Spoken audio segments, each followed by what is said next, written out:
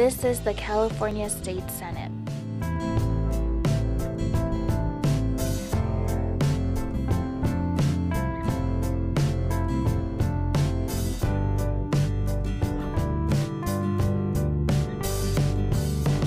This is the California State Senate.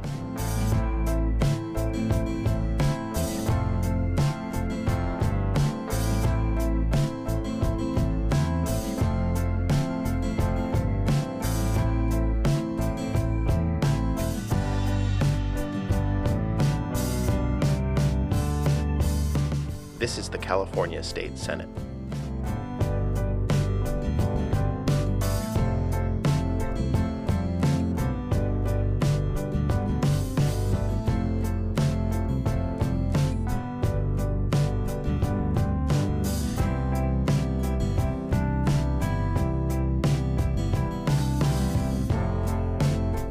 Este es el Senado Estatal de California.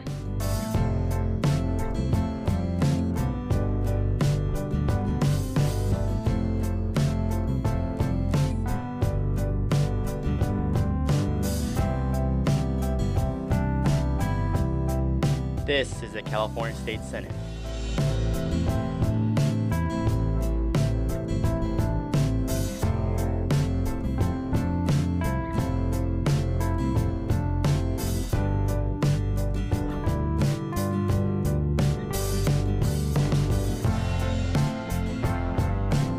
This is the California State Senate.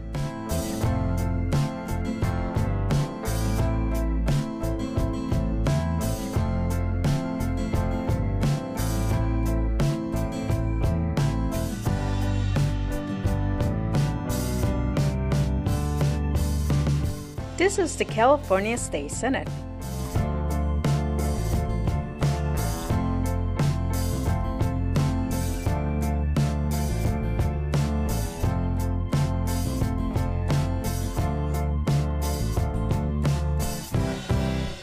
Esta es el Senado Estatal de California.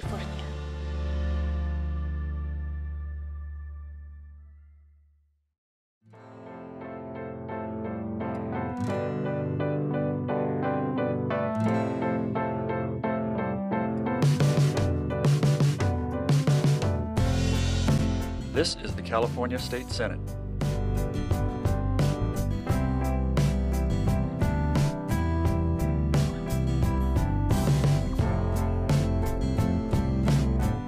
This is the California State Senate.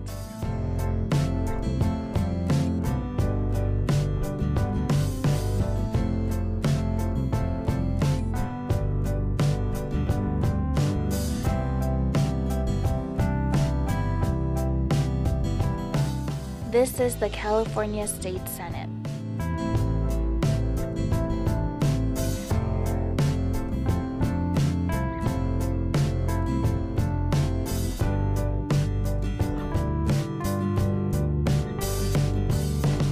This is the California State Senate.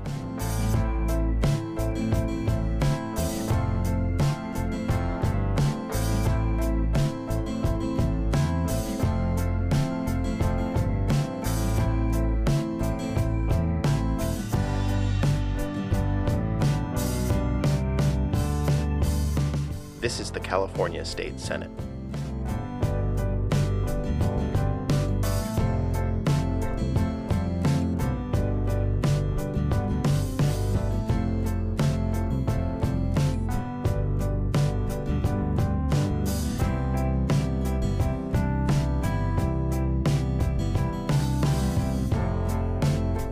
Este es el Senado Estatal de California.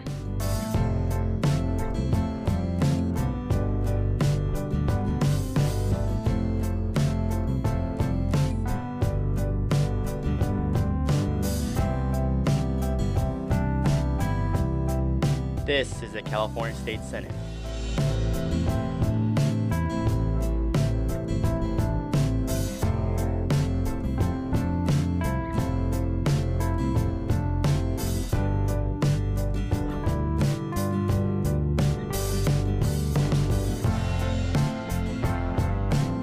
This is the California State Senate.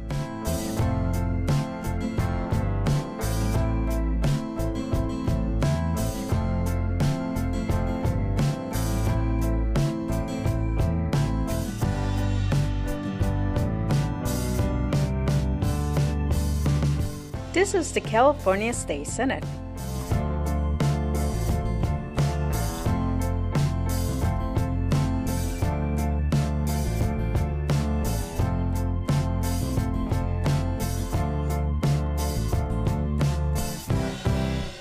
Esta es el Senado Estatal de California.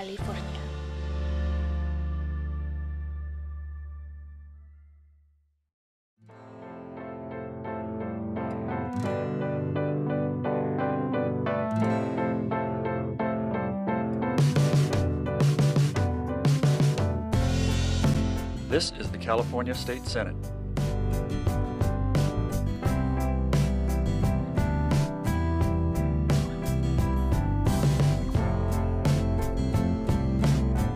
This is the California State Senate.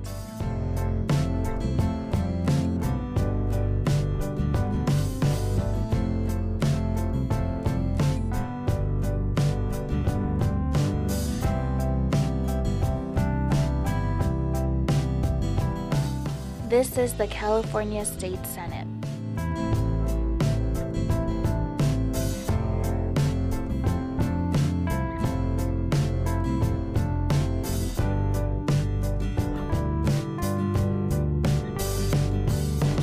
This is the California State Senate.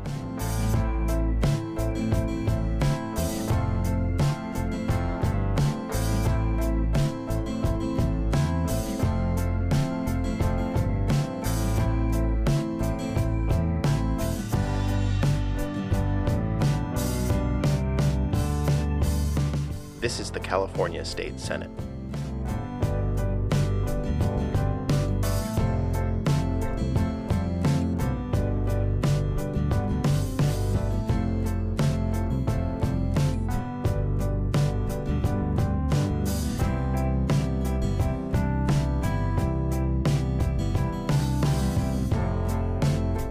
Este es el Senado Estatal de California.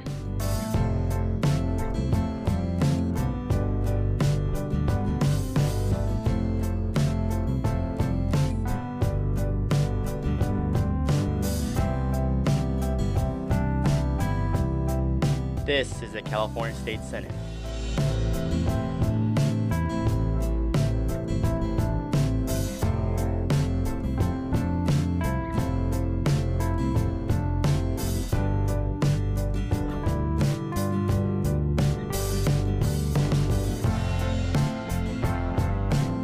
This is the California State Senate.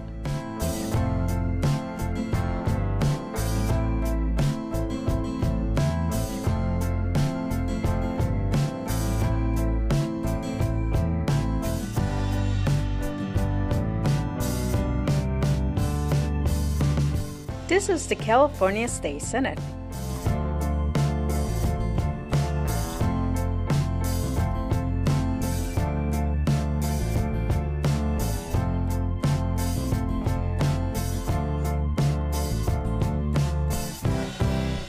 Esta es el Senado Estatal de California.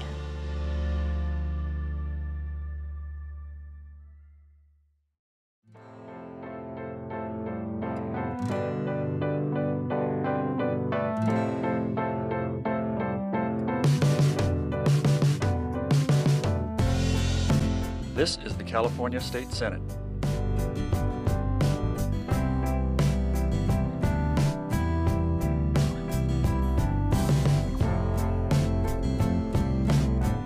This is the California State Senate.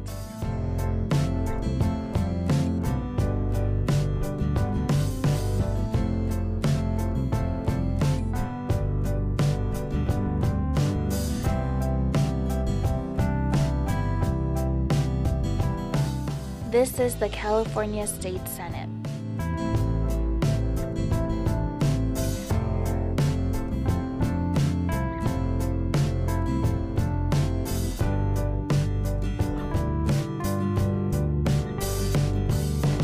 This is the California State Senate.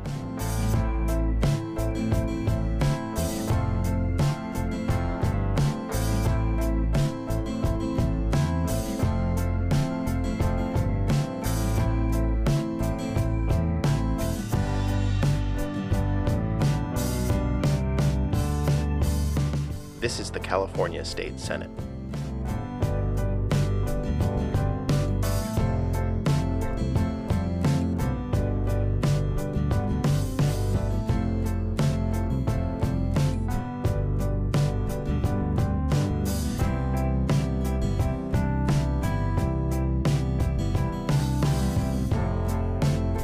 Este es el Senado Estatal de California.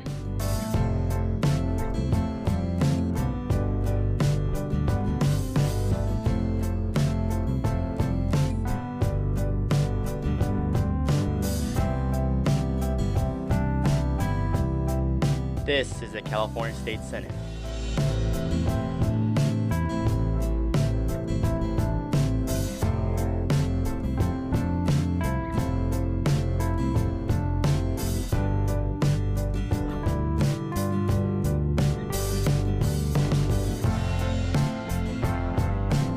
This is the California State Senate.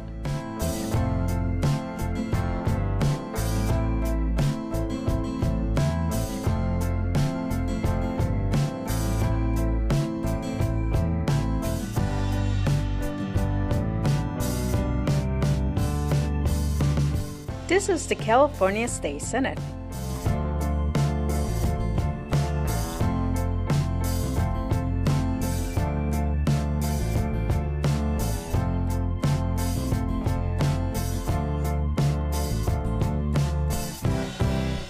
Esta es el Senado Estatal de California.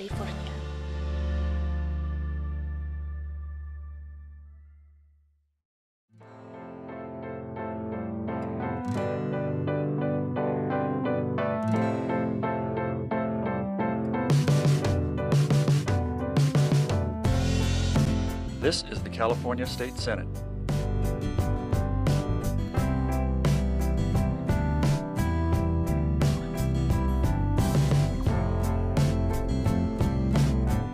This is the California State Senate.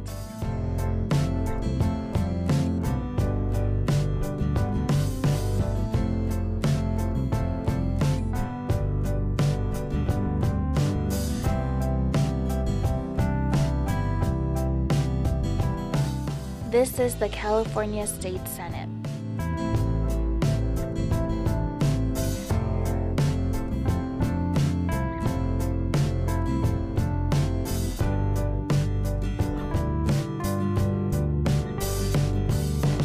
This is the California State Senate.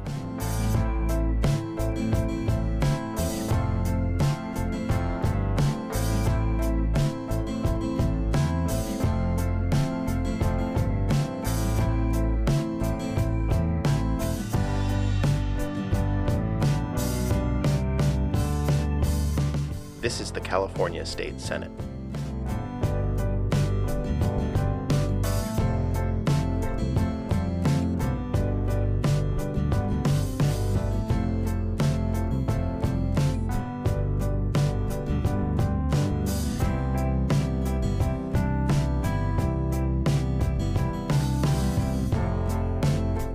Este es el Senado Estatal de California.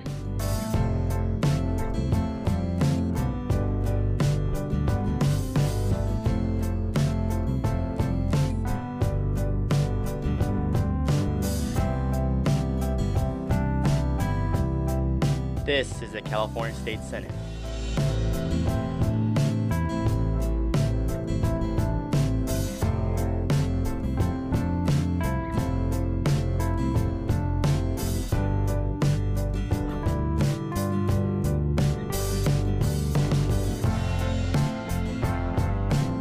This is the California State Senate.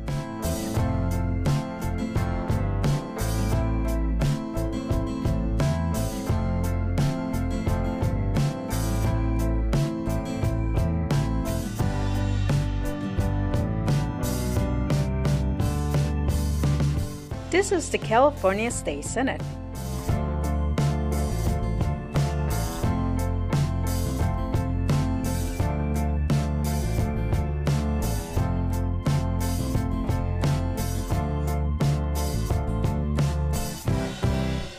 Esta es el Senado Estatal de California.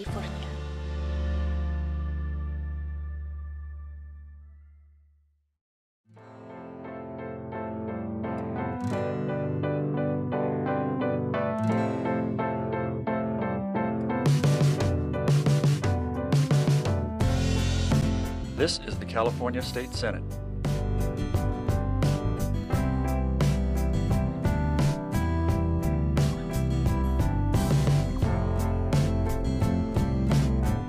This is the California State Senate.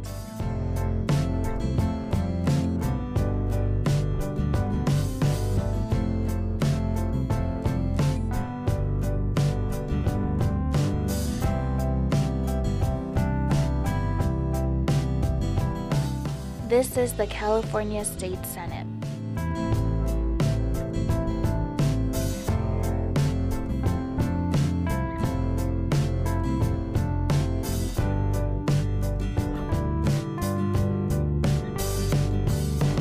This is the California State Senate.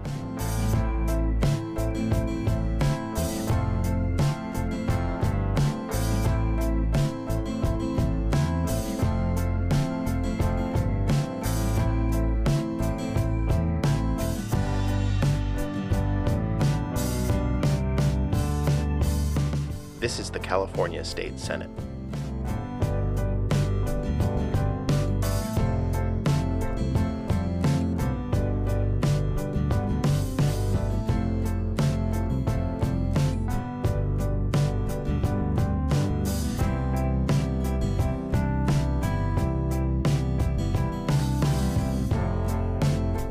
Este es el Senado Estatal de California.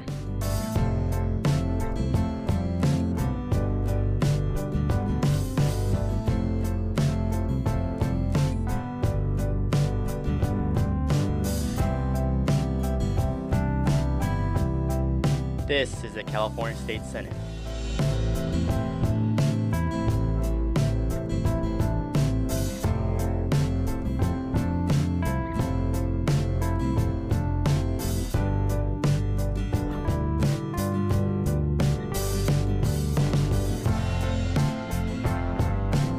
This is the California State Senate.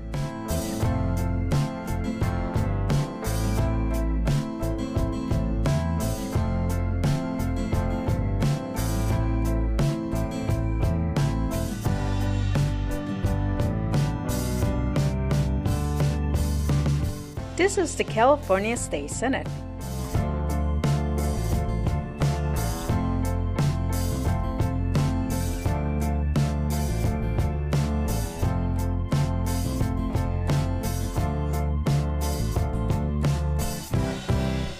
Esta es el Senado Estatal de California.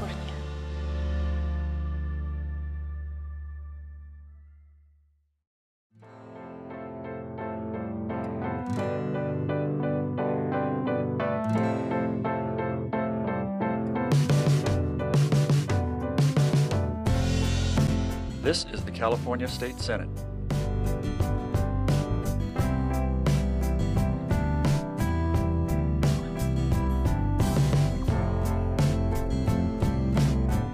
This is the California State Senate.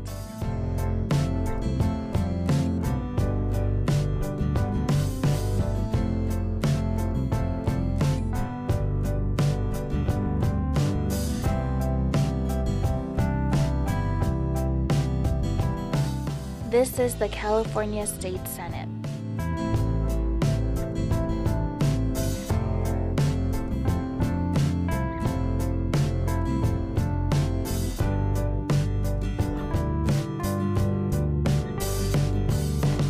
This is the California State Senate.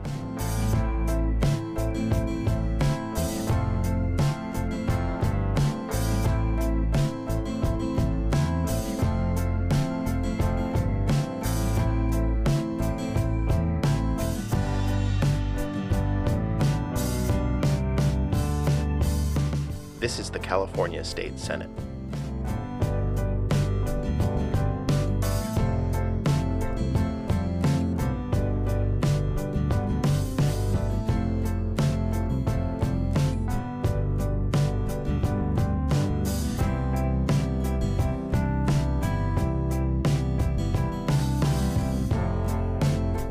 Este es el Senado Estatal de California.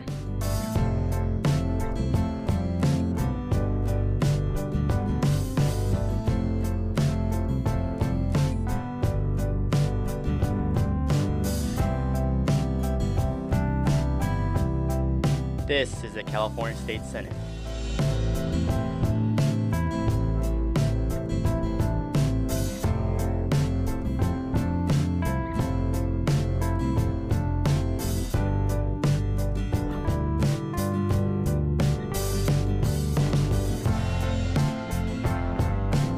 This is the California State Senate.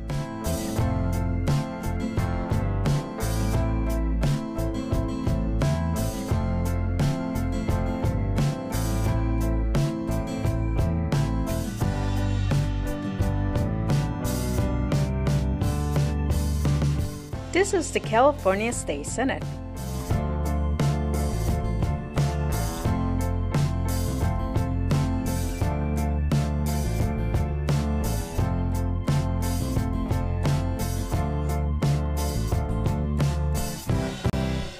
Esta es el Senado Estatal de California.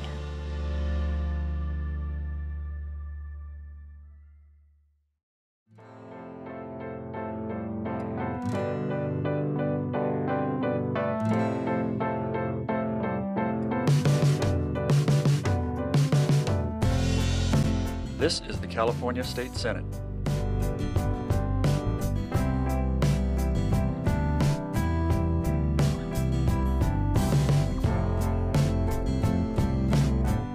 This is the California State Senate.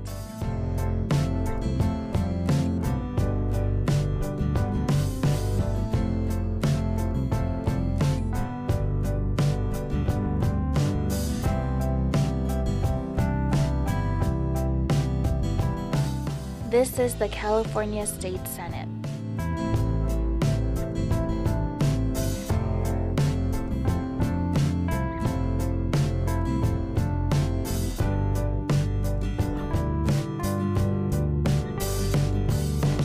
This is the California State Senate.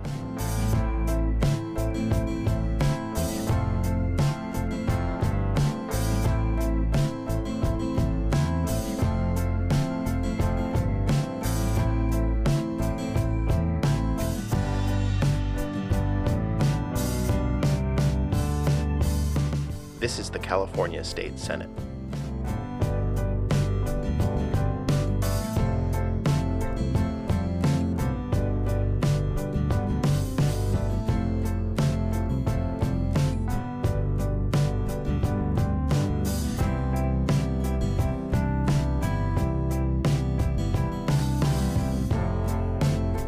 Este es el Senado Estatal de California.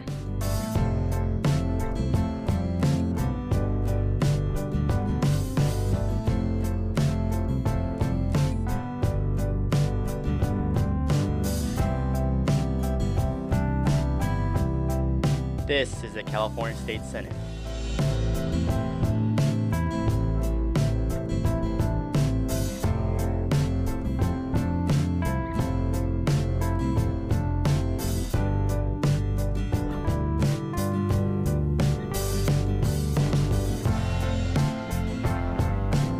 This is the California State Senate.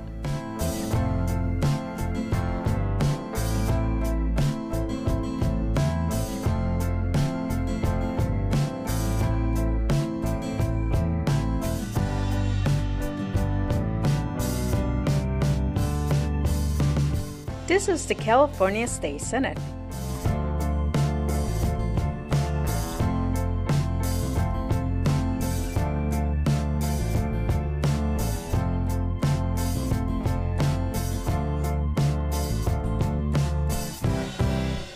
Esta es el Senado Estatal de California.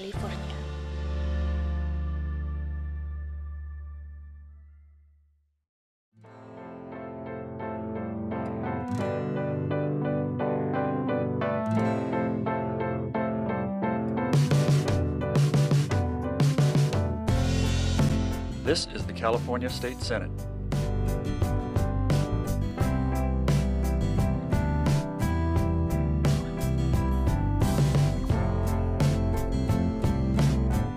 This is the California State Senate.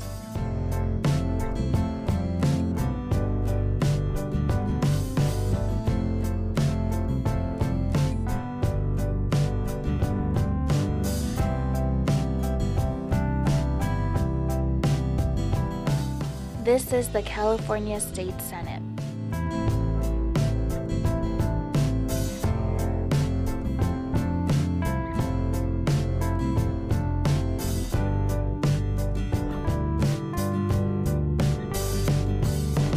This is the California State Senate.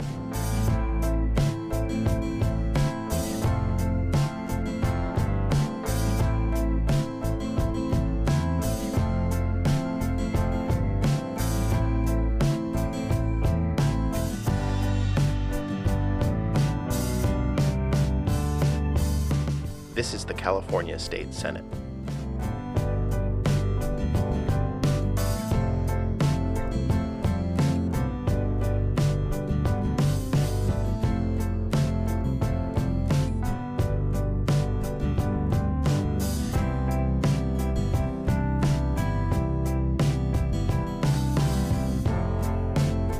Este es el Senado Estatal de California.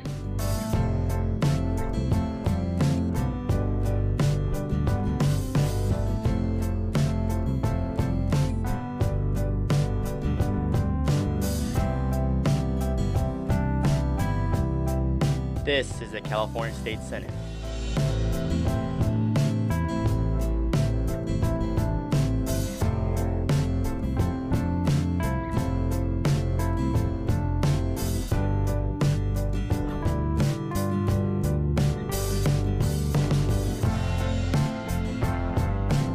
This is the California State Senate.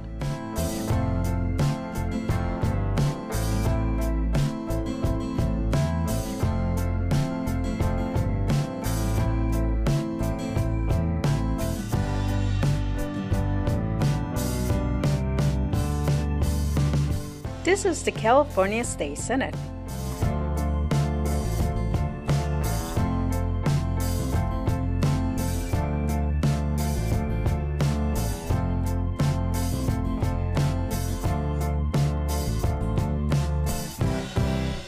Esta es el Senado Estatal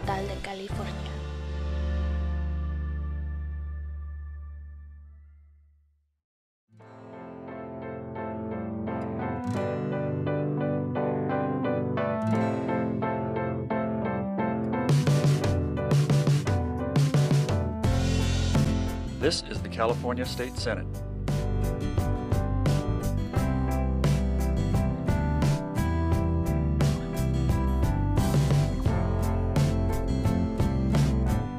This is the California State Senate.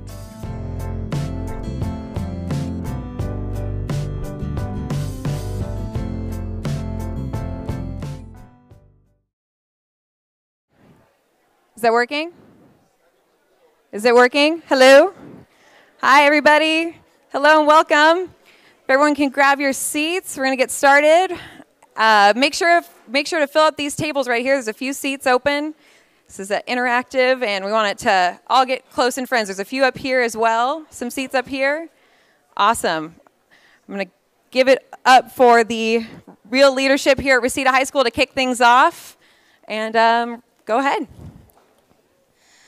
Good afternoon, ladies and gentlemen. May you please rise for the presentation of the colors and remain standing for the Pledge of Allegiance?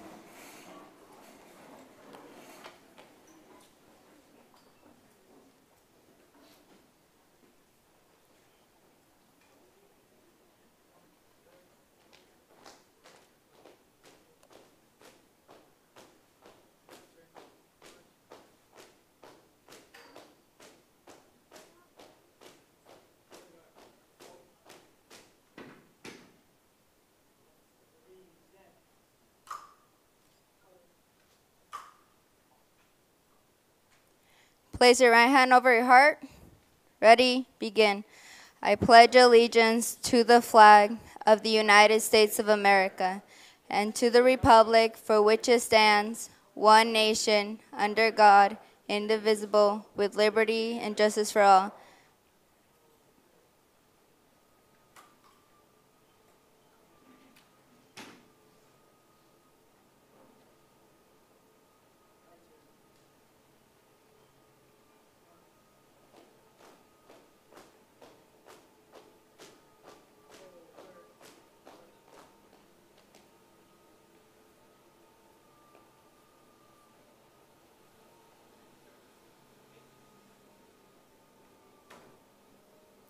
Thank you. You may be seated.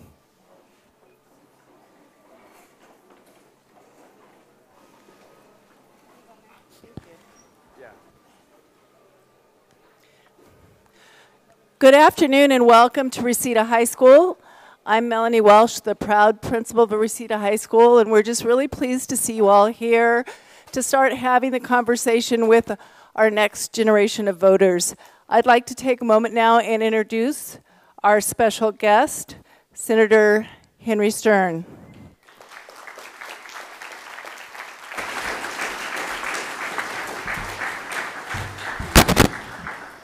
I was looking for the full state of the state here, Principal Walsh, but uh, we'll have to wait till next time. Well, thank you um, to all of Reseda High School, Assistant Principal Flores and Principal Walsh, and everyone else who's uh, come out today. Uh, this is uh, pretty exciting when you start with an idea and, um, and then all of you seize that idea and really make something of it. So. Um, how many folks here today are just coming out of class? All right, so hopefully you're not too worn down, but the goal here today is not to have a one way street of a conversation. This is the first ever Senate Elections Committee held at a high school. And so we're, make, we're breaking ground. This is a very historic day, so I want you all to recognize that you're a little part of history here.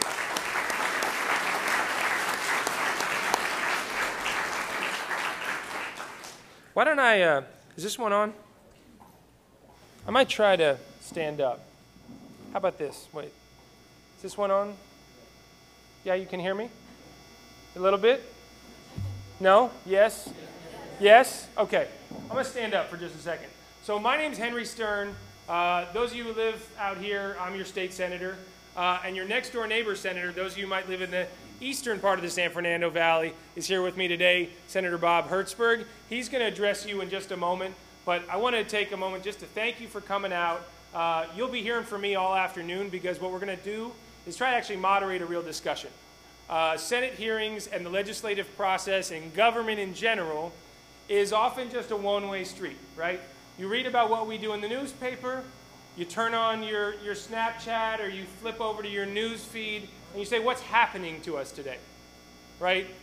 You wake up to, to fear or bad news or good news, but you're passive in this conversation. And this country is changing very rapidly, right before our eyes.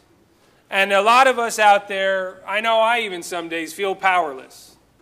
And you're so busy working on your homework or trying to get into college or going to your band practice or working out at ROTC and doing all the things day to day that you don't pick your head up and realize how much power you have to shape your own future.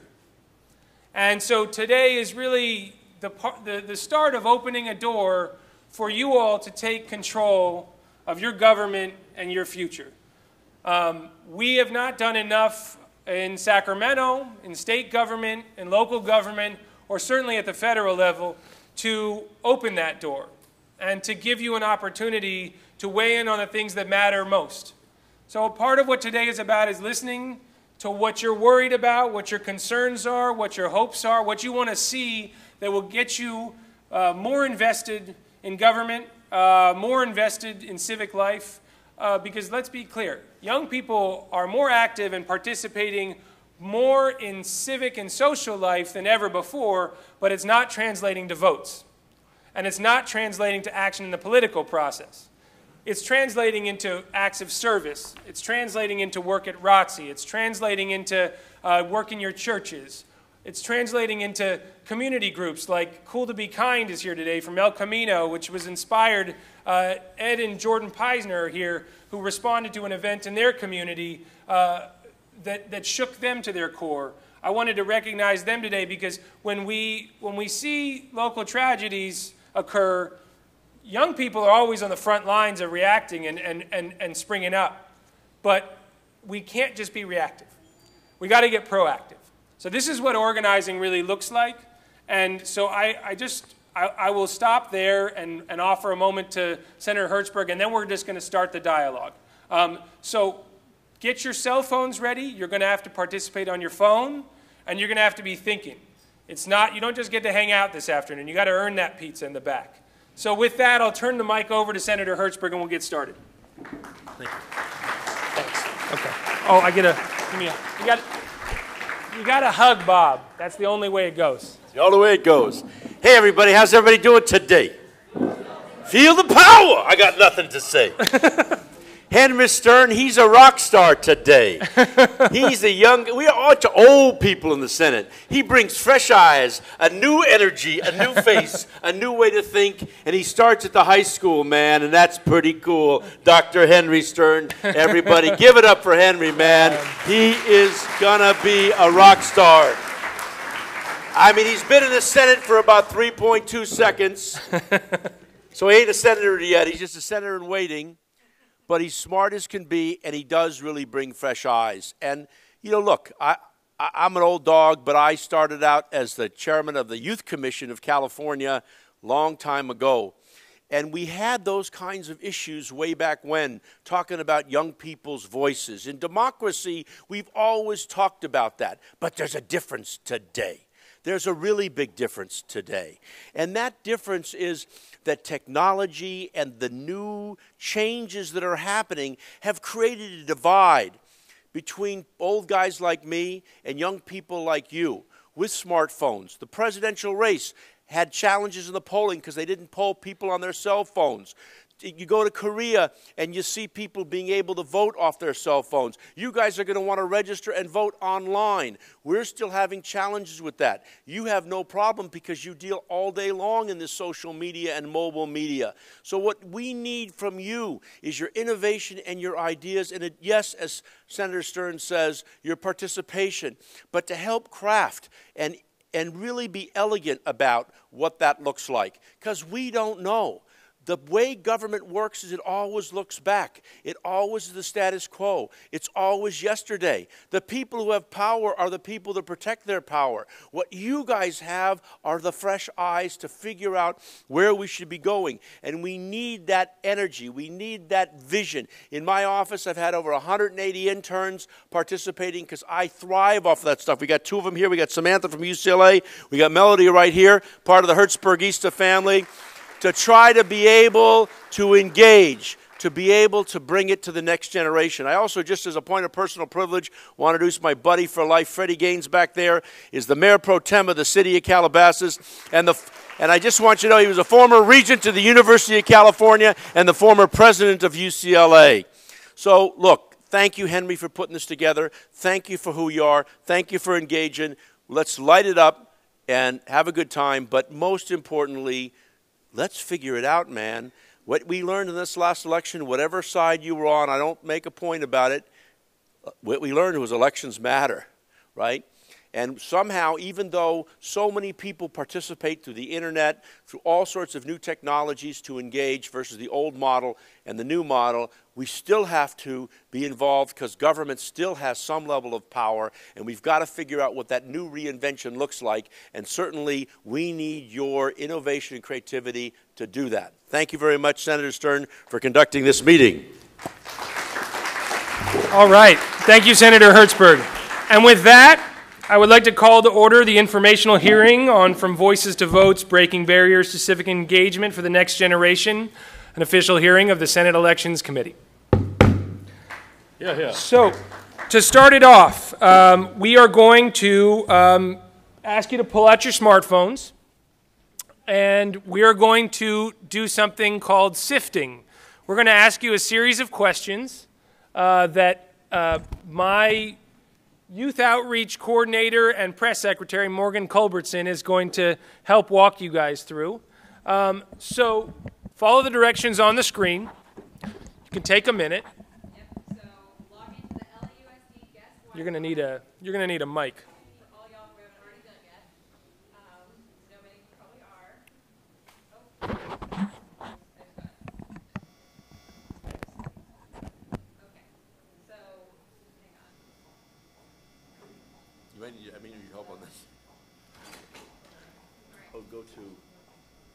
So you go to sift.ly.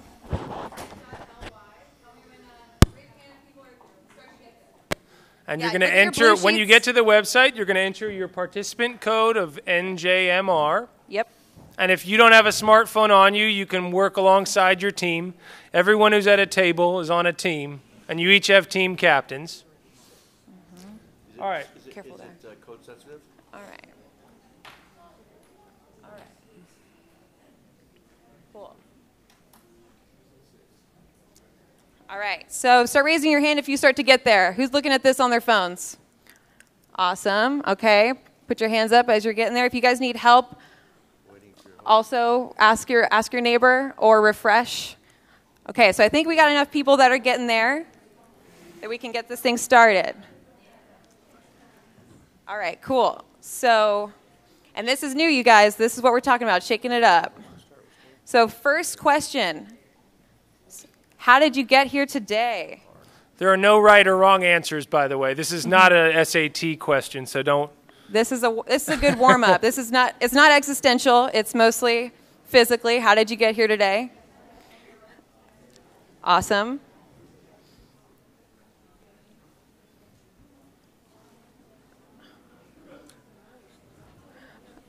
All right, so we got some drivers in the mix.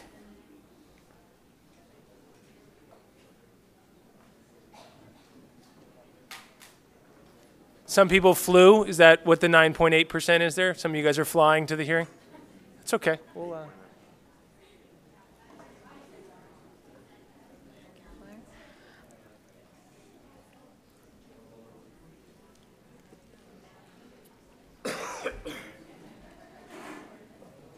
Ready for the next one? All right, so we're going to the next question. How do you engage in your community? What ways are you involved?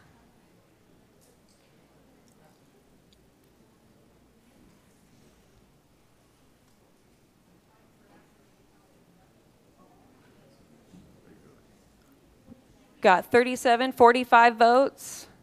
Keep coming in, 115 participants total. That's awesome. All right. And if anyone's having trouble, still just raise your hand for logging in. All right, we got some, we got a couple folks in the middle, couple folks in the back, in the middle right here. Need help logging in? Help your neighbor? Let's help. Further up, right here.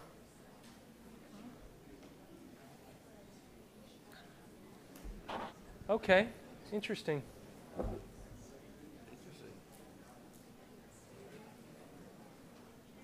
Cool. So you're getting a feel for where uh, what each other are thinking too here. But So- this actually confirms a few things. Raise your hand if you said school involvement, school related. Yep. Um, okay. Why don't uh, one of these uh, table captain at uh, table four want to give some examples of school related or share some of the things at the table? Let's I'm sorry, save- ladies with your let's hands up. save comments until after. Let's just push through this this right, process cool. and then we'll we'll open it back up. Okay, next. So moving on, we're going to keep going fast here, and then and then we're going to we're going to open it up. How connected do you feel to your community?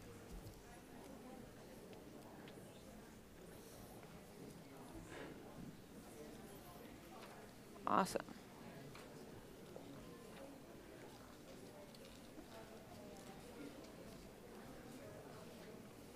All right, got the results here.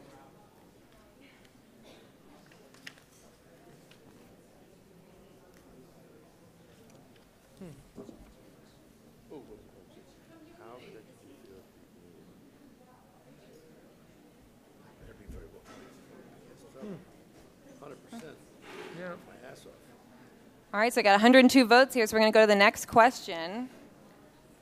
Are 17 year olds ready for the right to vote? Tell your phone. The verbal responses are fine, but put it in the system. We're going to review all this at the end. So we want to get an initial snapshot of where you guys are all at, and then we're going to actually have a conversation. So it got 88 votes. Keep them coming. All right, let's go to the next question. Well, well let's, let's see what Say the results. The results. Interesting. So we have a mixed group here. Okay. Wow. Wow. Cool.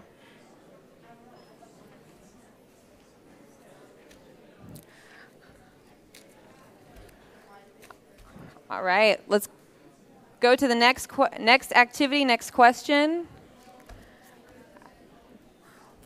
Which digital tools would help young people shape policy the most? You get to do a couple choices.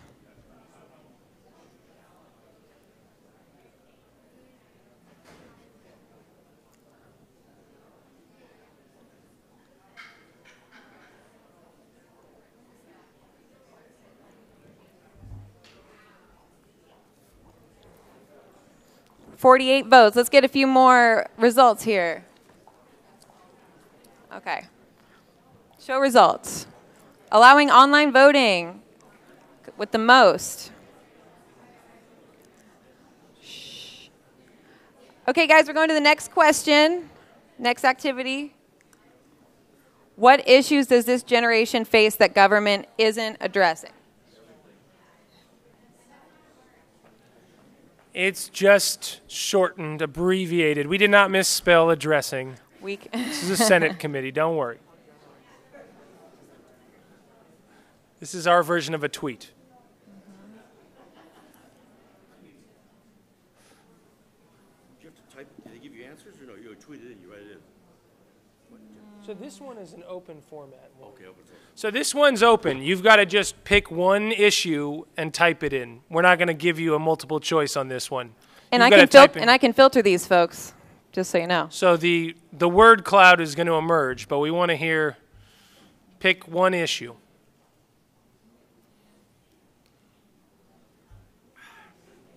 Student loans. Yeah. Could be student loans, could be climate change, could be education, immigration, LGBT issues.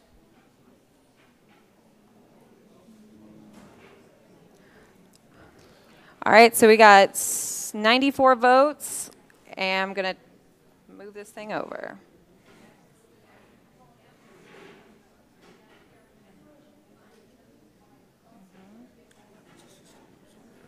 Hmm.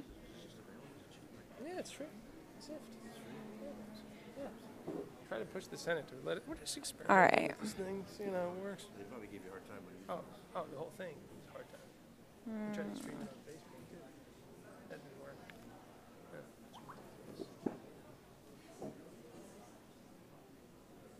Wow, that's so fun.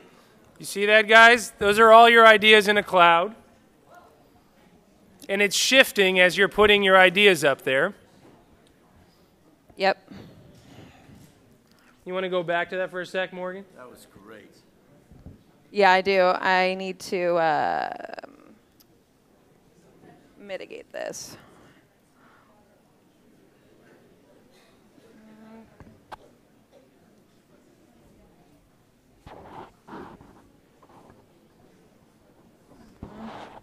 All right, so I'm just going to rattle off a few of the ones I'm hearing here today. We see student funding, abuse, LGBT issues, immigration, housing, health, minimum wage, 911, tuition, climate, voting, cost of health care, housing, CIF. Let's see that in there. That's a little one. Aliso, also, is that Aliso? Global warming, DACA. Someone just gave a shout out to, to uh, Mr. Downey from Royal High School. He's, he's an issue I guess we're not addressing. Okay. All right, well, we'll come back to that in a sec. Is that the last of them, Morgan? Yeah. Okay, so there's your little sneak preview of what you all are collectively thinking. And, and what this, this little exercise represents is actually how voting ends up working, right? We all collectively think many different things, but how does it all aggregate and then result in decisions? So we're going to come back to all that at the end and maybe revisit a couple of these questions and see if you're at the same place you were earlier. Uh, next, I want to invite up uh, our opening panelist, uh, who is one of the foremost experts in civic engagement uh, and youth participation in government in the country. Her name is Mindy Romero. She's the founder and director of the California Civic Engagement Project at the UC Davis Center for Regional Change.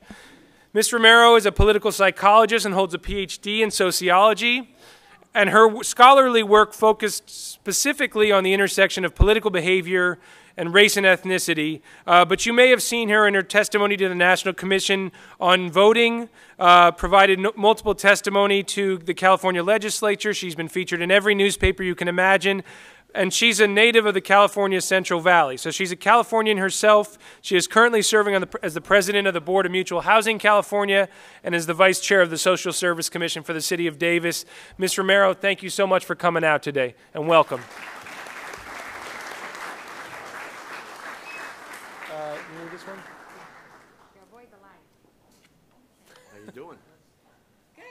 Are we on?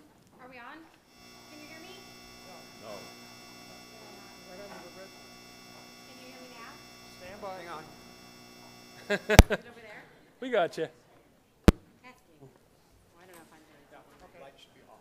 Light should be off? I tried that. Hello? Oh, now Yeah, it's working too. Okay. All right. Yay.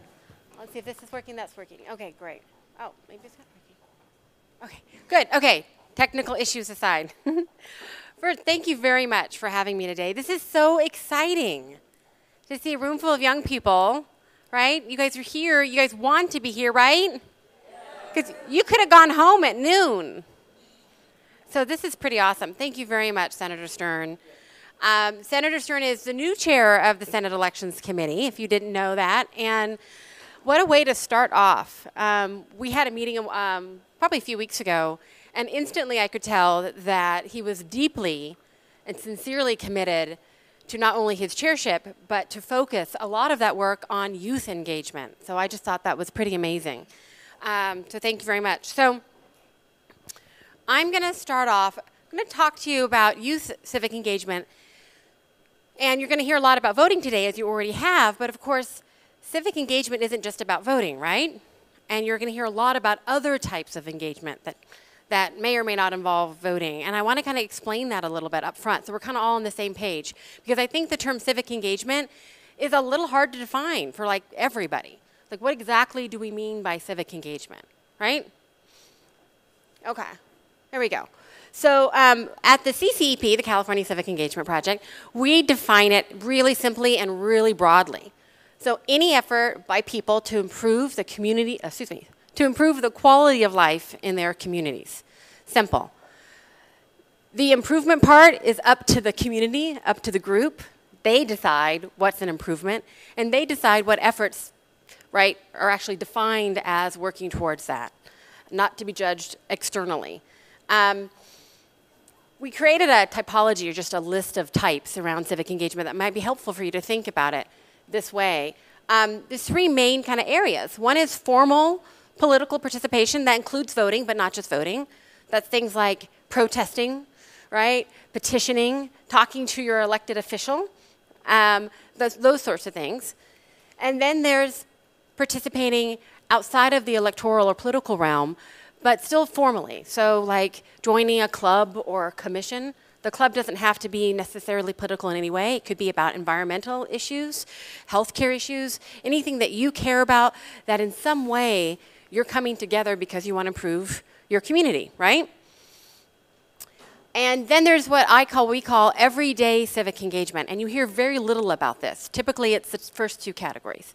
Everyday civic engagement is really, really broad. It's all the types of things that many of you, I know probably all of you are doing on a daily basis in some way. It's volunteering at your local park and doing cleanup. It's translating for your neighbor. It's cooking, maybe for a community group, right? Um, it's all the little things and big things that we do for each other that isn't necessarily organized or structured into something formal. Does that make sense? Now, I'm going to show you some numbers on voting because we don't have a lot of data on young people and civic engagement. One of the most common ways of measuring it is voting. Um, and you'll hear that the numbers around voting are not really good, right? I think you probably all know that. Young people vote in low numbers compared to older folks. I'll, I'll show you just what that looks like. But before I get into those numbers, which are low, I want to, though, talk about these other forms just for a moment. So, young people are less likely to be participating in some of the more formal structures, but it doesn't mean that they're not participating. Matter of fact, I think young people um, are participating, certainly in, when we think about this broader definition, this everyday civic engagement. You and your peers are doing all kinds of things all the time. I think everyday civic engagement is rampant in the youth community. The thing is, you usually don't get credit for it, right? You hear, why aren't young people voting, right? This, ah, oh, are they apathetic? Do they just not care, right? Or why aren't they doing, why aren't they involved in these more formal things? And I think you guys, we have lots of survey research, we have lots of other data to tell us that you guys are very interested, that you care very much about your communities, that you're staying informed, that you're on it. But the way we measure and think about civic engagement as elected officials or as researchers or as even the media, we think about it in these other ways, and you guys aren't getting credit for the work that, right, that you're doing. Right? Would you agree with, them, with that? You guys care, right? That's why you're here now. Okay. That being said, and I've got a little slight delay here, technical issues. There we go. Um, so let me talk a little bit more about this civic engagement issue. So um, because so many youth are doing everyday civic engagement type things and less of the formal, right? The kind of the official structures that we give young people to participate in. At school, things like leadership class or student government is an official structure that we give you, right? That we recognize as civic engagement, right, on campus. Um, but often underrepresented groups, so youth, but youth of color, low income youth, are less likely to find themselves, even more less likely to find themselves in those kind of traditional structures. And at a school, it's all youth, but youth of color, low income youth are less likely to find themselves in like student government and leadership or to be recruited into those areas. Um, often the ways that young people find that are relevant for them to get involved in their communities, we're again not recognizing that. And so we're basically not understanding the full level of engagement that young people are interested in. And then what makes it also hard, not only you're not getting that credit, but to transition you into the more formal structures and into voting, if you don't recognize what young people are doing, it's harder to help them transition right into those other forms. And the kicker with those other forms, those more formal ways of participating and voting, is that those are the power pathways. So if you're interested in change, if you're interested in improving your community, everyday civic engagement is definitely a place to be. Don't stop that.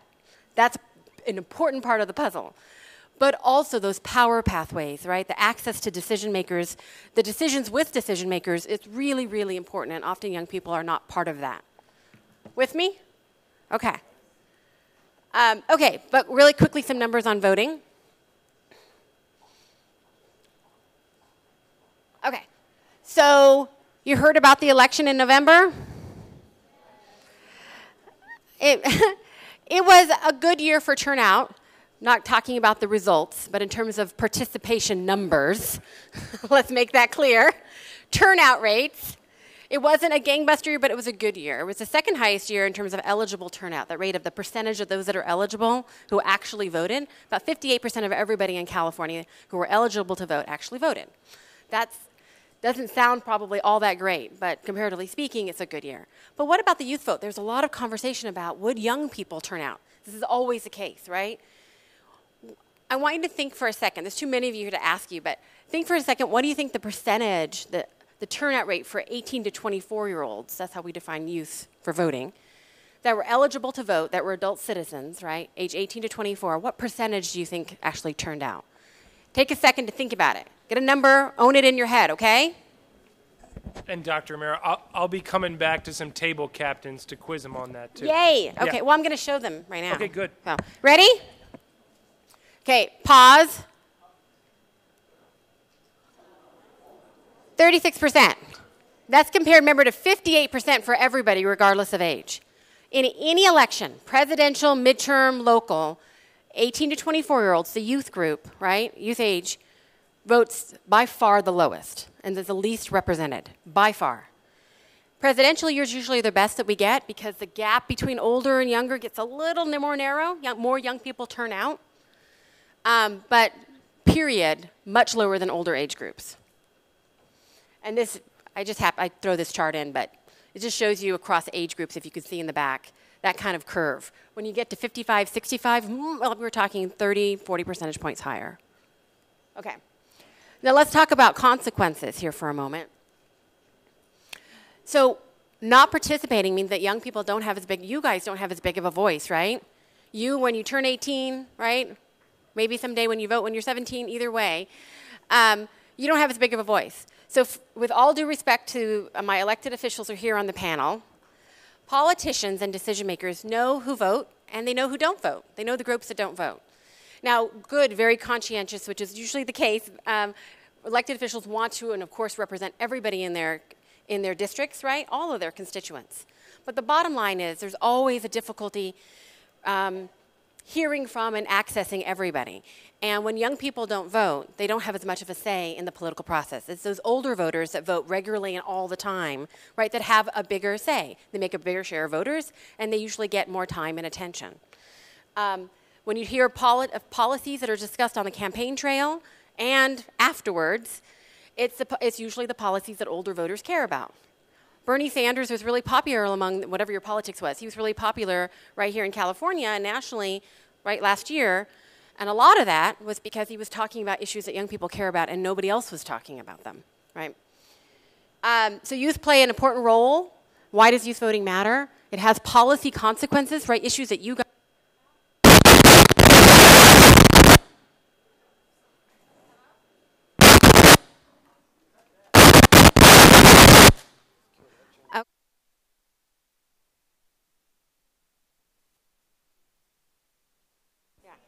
didn't do it. Okay. Um, and of course, young people partic- not participating means that our electorate is much older than what the population is, right? Period.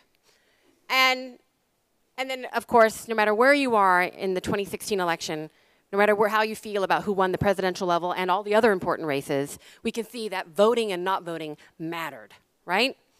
Okay. How can we improve turnout? Just a couple of slides here. Sorry, I'm going a little slower. I like to break it down into two ways. There's lots of factors, but bottom line, we need to make it easier for young people to vote, for all of you to vote, and we need to make you want to vote, the motivation question, which I think is actually much harder. So, how can we? Oopsie. Now it's going fast, sorry. How can we make it easier for you to vote? That's kind of like the system stuff, the institutional stuff, right? So, number one, we have lots of barriers in the way our electoral system is designed, like registration. Young people are disproportionately impacted by registration requirements. You guys are really mobile once you hit 18. You move, you lose your, your ability to vote because registration is tied to an address. Young people have much lower registration rates than older age groups. You can't even vote if you're not registered, right? Um, you get much less outreach and mobilization from campaigns and candidates that don't see you as likely voters. Your friends that are over 18, do they hear from candidates and campaigns? Not so much usually, right? Because it's a resource game. Only have so many resources, and usually campaigns they have to reach out to those they know are going to vote, and they have less time and money to, to, to, try to reach out to those that aren't so likely to vote. Um, that's just a resource issue. Um, we're going to talk a lot today about civics education, so I will leave that there. But so much work that we need to do in our civics. We have some so many great, um, what do we call it? Examples today, programs that are going above and beyond that are really exciting. But as a whole in California and in the United States, we don't really have a robust civics education program. It's pretty abysmal in many ways, and we don't teach kind of the details, the reasons why young people should vote, and we don't actually show you guys like how to actually do it. How crazy, right? How to actually fill out a ballot. And what we do is we wait for you to turn 18, magically assume that you're going to know how to vote and want to vote at 18. Isn't that a little crazy? We don't support you, but then we expect you at 18 to know how to vote, and then when you don't vote, we blame you. Do you know that? Oh, young people didn't vote again. It's 36%, right? Those darn youth, what's wrong with this generation? That apathy label. When you guys hear that apathy label, fight it. It's blaming you for what we didn't do. When you hear your friends say it, or if you, you might, some of you might end up saying it about your friends, they were really lame, they didn't vote, don't do it don't perpetuate it either, okay? Okay. Peer power is so important in motivating each other, in educating each other, and getting each other out to vote. And actually, there's tons of research that show the most effective ways are peer to peer, not me up here. okay. And then, how do we make them want to vote? And I think so many of the panelists today, everybody is going to be talking about this question. So I'm going to pass it off to my wonderful colleagues. Thank you very much.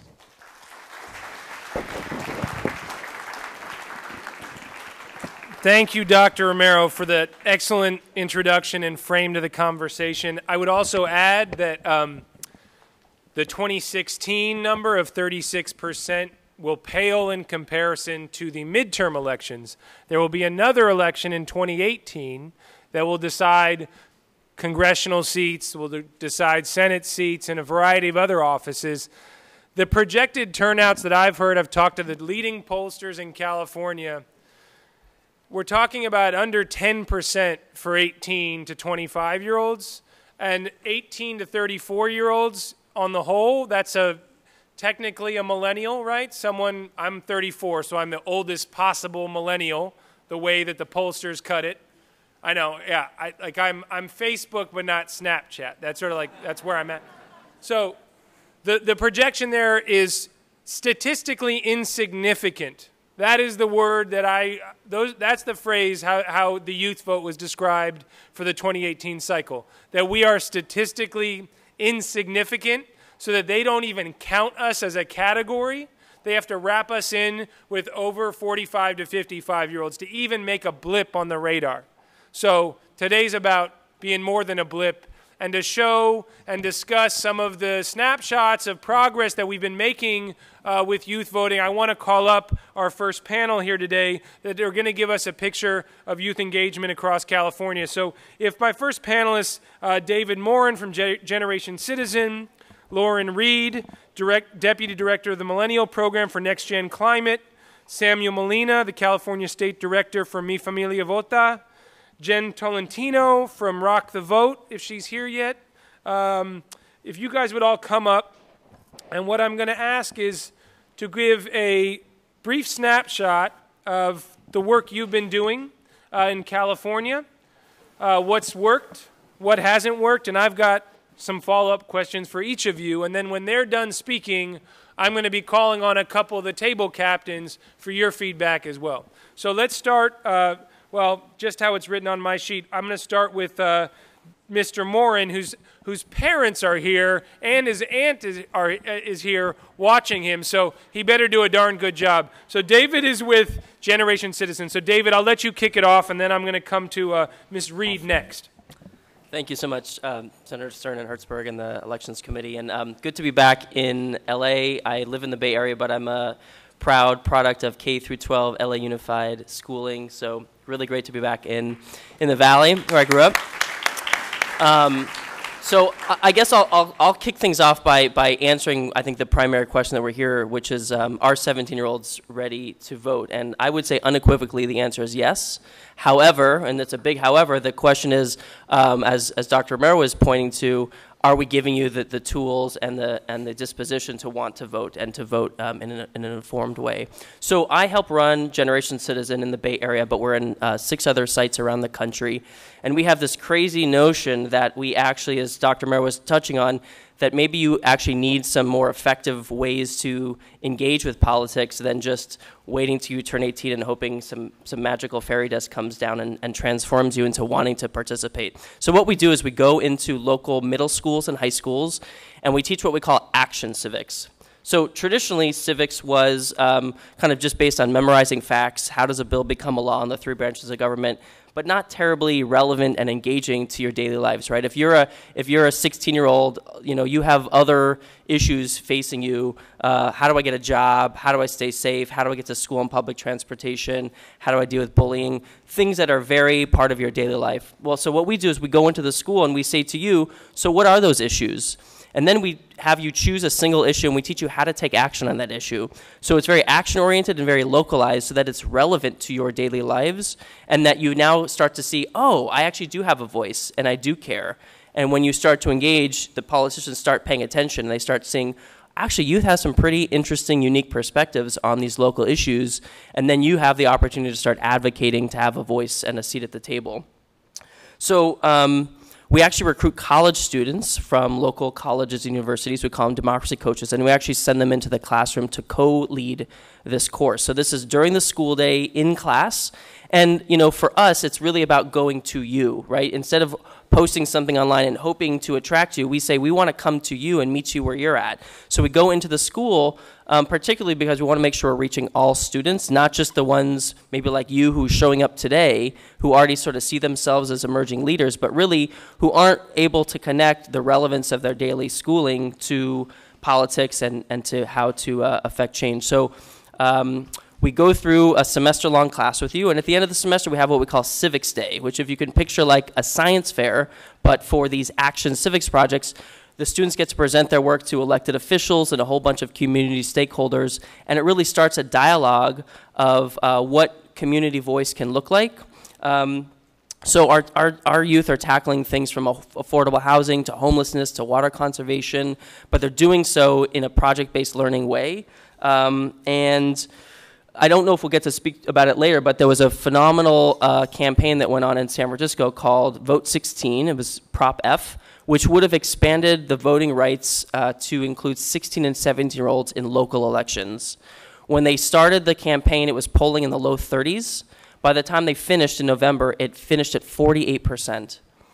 And what we found moved the needle the most was when the youth, when you guys stood up and articulated why you actually do have opinions and you do care about these issues and you are affected by them, elected officials started listening and, and the community stakeholders started endorsing this work. So we've, we've started to see that when you give youth the chance and when you empower them with the skills and knowledge to actually engage, you all do rise to the to that uh, expectation and and absolutely people realize, wow, these 17 and 16 year olds do uh, do have informed opinions and they should be given the right to vote.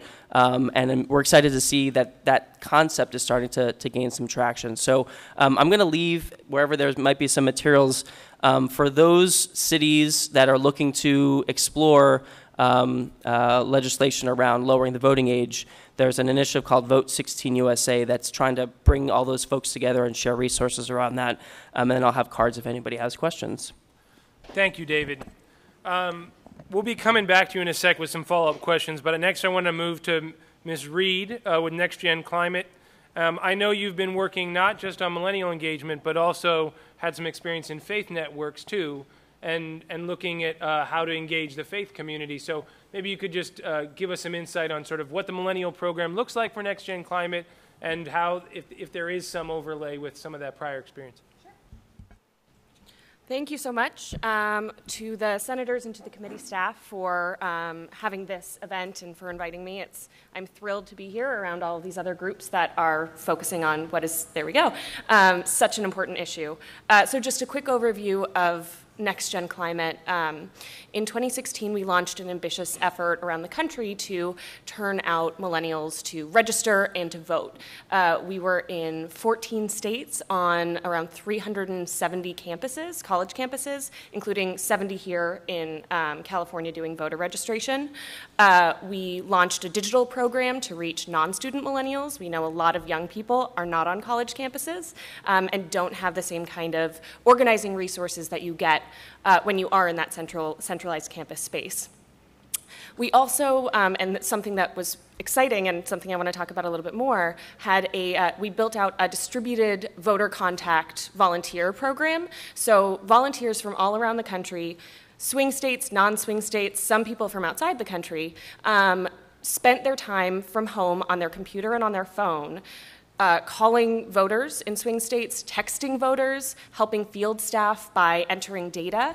Um, and so that, I think, was an area where we really are, we're excited to explore a little bit more. Um, what we found and what we believe is that young people want to vote, they care about it, they just, especially on campuses, they didn't necessarily have the answers that they needed. Uh, they didn't know how to register, where to register, or how to vote. Um, some of that is just lack of availability of information. Sometimes it's misinformation. Uh, luckily, here in California, that is much less the case than in some other states. Um, so we really just wanted to meet people where they were. Uh, and so talking a little bit more about our, our um, distributed voter texting model that we built out in, in 2016 we're continuing, continuing to look at. Um, in the election, we sent over 7 million one-on-one text messages. So that means a volunteer directly texted a voter, and they could have a conversation. It wasn't a blast text message that you could respond to with a reply with. It was one person texting another person, letting them know when, to when their registration deadline was, how they could find out where their polling place was, how they could get involved directly. Um, we're still getting a lot of the information back about the, you know, how much that increased the likelihood that people voted, but early data is showing us that it really does. That when you talk to people about, when you give them the information that they need, um, they, they, want, they move forward with it. They turn out and they vote.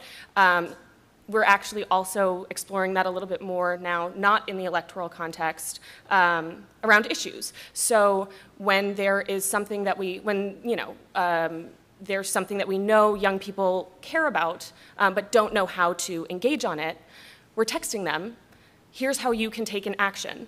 You can go to this event, you can sign a petition, um, you know, sending it via email or, or, send, or uh, having a phone call with them, they're great. Sometimes young people don't pick up their cell phone to an unknown number. I don't know about you, but that's not, I'm not, I'm not big on that. But they do read text messages. So it's, a, it's been a really positive way, I think, um, for us to meet people where they are and make sure the information gets across.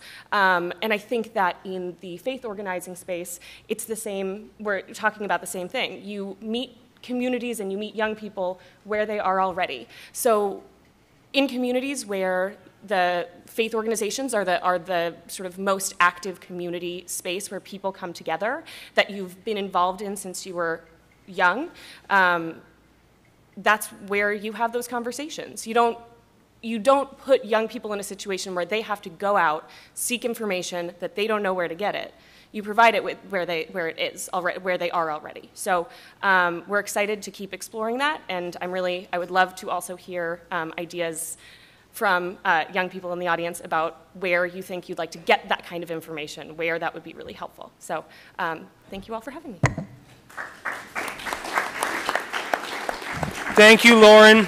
Um, next, uh, Samuel Molina with Mi Familia Vota. Tell us about tell us about your organization and um, the state of youth engagement, what you're seeing on the ground in California. All right. Good afternoon, everyone. Thank you, Senator, for inviting us, and I thank you for everyone who's here today. Um, so when we talk about youth engagement and what we're doing here in California, uh, before I begin, I've, I've noticed a lot of you on your cell phones, right? So you know that's where we want to be. That's that's where we need to move forward to when you know we talk about registering uh, youth online, even maybe going to voting online. That's where they are, right? Um, so many of you are focused on it right now. But anyhow, uh, Mi Familia Vota has been in California for the last five years, and in the last three years, we've actually been able to register over 30,000 people to vote and over 50% of them are 16 to 24 years of age. So last year, when the law passed to register 16 year olds to vote, we actually registered about 4,000 of them uh, prior to the election. Now, you know, our tactics involve using social media, just like some of my colleagues here, you know, going on Facebook, Twitter. Snapchat is one of the bigger hitters. When we did an event there, we had over 200,000 people, uh, you know, watch that Snapchat video. So we know that that's kind of the growing um, medium there to, to outreach to the youth. One of the other things that we have going on right now is what we call our Youth Leadership and Civic Engagement Program. And it was really founded by one of our state directors in Texas. Uh, Mi Familia Vota is in six states, and Texas is one of those. And what we've actually done, kind of like my colleague here, David Morin, we're actually going into the high schools teaching students about civic engagement, talking to them about how to register to vote, when the election deadlines are coming up, we talked to them about some of the current policies that are in the state legislature and what is going on at their city council, city level. And what we do is we actually uh, prep them to speak, testify in front of their council members or even state legislators. And we also actually have them do television interviews or radio interviews to get them to articulate why they so are supporting these policies. And it's been quite successful. Last year we had about 45 students participate. This year we're on 35 students, hoping to get more. Um, but it's one of the proudest uh, programs that I believe that we have. I, am really excited about it, and I know, you know, it's not just about, you know, here, register to vote. It's about this is why your vote matters, and starting um, as soon as possible and getting engaged. I mean, myself, I didn't meet my first elected official until I was 25 years old, and I didn't really care about politics until I started doing this job. So, I mean, we, when we talk about youth engagement, it's more than just you know, learning about the history of the U.S., it's more, uh, it's more than that, right? It's about how your vote affects your family members, how it affects your friends, because we all care about our friends and family, correct? Yes? All right, then it sounds very enthusiastic. I don't believe any of you. Right? We do care about them, right? And when we go vote and when we march and we stand up and we speak out, we're showing them even more so how much we care about them, because that's really what it comes down to, right? Our vote affects everything uh, that takes place in our, in, our, in our future and for our family and our friends. And so I'm going to leave it at that. So, Mr. Molina, just I want to follow up on one quick point. You're from Fresno, correct? Yes. So Yes. you said you, your first your first vote wasn't until you were 25 years old. Uh, that was the first time I met my Met- first elected first official. elected official. But I was 20 when I first voted. Well, so what what was that? When did the light bulb go on, and why? Like wh- when you turned when you were in high school in Fresno. Uh, was there a moment? Was there something that turned you from just a passive observer into somebody who's being active in the democratic process? So 2008 was when we had our first African American president, and so that was one of the first reasons why I voted. So I was about uh, 20 years of age that time, and then I joined the military, so I missed out on that election, the general election, and um, 2011, or sorry, 2010 just passed me by. 2012 was the next election. That's when I voted. So started to realize the significance of it, right? Yep. Um, so I want to I want to uh, let uh, Ms. Tolentino weigh in from Rock the Vote. Um, and I know you've had experience with both uh, sort of outside and inside, getting working with local governments, doing that kind of outreach as well as through the organization. Give us a little perspective on what what you found works better, because Rock the Vote has all kinds of tools they use. You've seen county registrars do outreach. What what what's working and isn't working out there? Sure. So thank you again for having me. I'm really excited. I did not realize this was the very first hearing at a high school, but that makes sense. And it's incredible that you are doing this at a high school. I love it. Um, I am Jen Tolentino. I work at Rock the Vote. Um, if you aren't familiar with Rock the Vote, we've been around for about 26 years now. And we were formed in the 1990s in response to censorship in rap. So people were trying to censor artists saying that their lyrics were, you know, un-American. And so Rock the Vote was formed in response to the idea that you could actually have lyrics censored and that it was un-American. And so Rock the Vote at its roots is activists. It is building the political power of young people to make sure that their voices are heard. Um, since then, we have sort of evolved past just working with artists, but trying to figure out where young people are and where they exist and making sure that we're meeting them where they are. So maybe that's in a high school or that's very likely online. Um, one of the unique partnerships that we do is we formed the Corporate Civic Responsibility Program, which was co chaired by the Secretary of State of California, Alex Padilla. And essentially, we worked with them to get companies to engage with um, online voter registration. So we have a tool that can be used and placed across the internet. So we worked with Tinder to put it in the app so you can swipe left or right to like figure out who your political candidate is that matches with them and you know then get registered to vote if you aren't already. So if you didn't know that you, you know, it, you don't have to go looking for this information. We're trying to find you. Um, we worked with Twitter, we worked with the Skimm, with Microsoft. Um, we did a video series with Vevo using artists to really talk about their personal um, experiences with policies that matter to them. Um, one of the things we heard a lot from young people last year was that they didn't necessarily um, feel moved by the top of the ticket. So we had a strong emphasis on trying to inform them about down ballot races and how that actually affected the issues that mattered to them. So because we're able to do this really unique thing in California where our online voter registration tool um, pre-populates to the registration website that California offers where as Rock the Vote or as Twitter or as Tinder, you're able to put in information and then you're sent to the Secretary of State's website where you actually get registered, but you don't have to duplicate that information.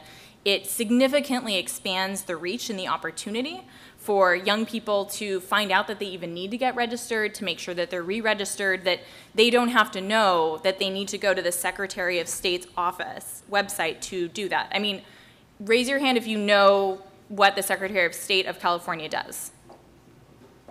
Right. I mean, that's pretty good, but I would imagine you wouldn't necessarily know that you had to go there to get registered. And so, what we do is try and put that out there so you don't have to look for it. Um, Another thing that we're doing, especially considering how terrible turnout tends to be in municipal elections, is, and the fact that young people historically were asking us for more information about local candidates, um, we're trying to explore how to do voter guides, specifically video voter guides, to have candidates speaking to what makes them a good candidate to represent young people. Um, we did our LA voter guide a couple weeks ago. Um, you guys can actually still find it online. There are some hilarious videos um, that describe who these people are that are running for local office. I would also encourage any of you, if you have political ambitions, to eventually run for office and think about it. Um, local government is definitely something you should be voting in and something you should be thinking about as your own political ambitions. But um, working with the Secretary of States and local registrars to increase engagement through a number of different channels using the technology that the state offers to third parties has been incredibly effective for us. Okay, so you've heard a lot from some experts here, and thank you so much for your insights. Your organizations are all out there on the ground doing very real work, but I want to I want to now open it up for a second and get a little bit, bit of feedback. So I'm going to ask um, who wants to go first? I'm to I'm just going to pick. Um, is table three, um, is Gabriella the team captain, are you guys ready? So, um, first, I want to know from your table. Um, Dr. Romero talked about there are many ways to engage in your community besides voting. So, I want to know uh, how else, before voting and besides voting, do you participate in your community? I'm going to come to Gabriella's table, and I'm also going to be coming to um, table two. Is Ava here? Where's our Ava? Sorry, Ava. I'm sorry. And Ava's with Calabasas High School with the West Valley Youth in Government, and um, Gabriella's uh, Reseda High local. So um, I don't know which of you wants to go first, but I'm looking for some feedback from your table as to what do you do? How, are you in a club? Uh, are you on a team? Um, what do you do besides voting? Um, if you've if you voted at all. So um, Think about that for a quick second. Do we have a microphone for them? All right, so just um, let's go with three comments from each table. What do you do besides voting? Ava, you got the mic right behind you. Yep. Yeah, Yeah, you see that? Okay.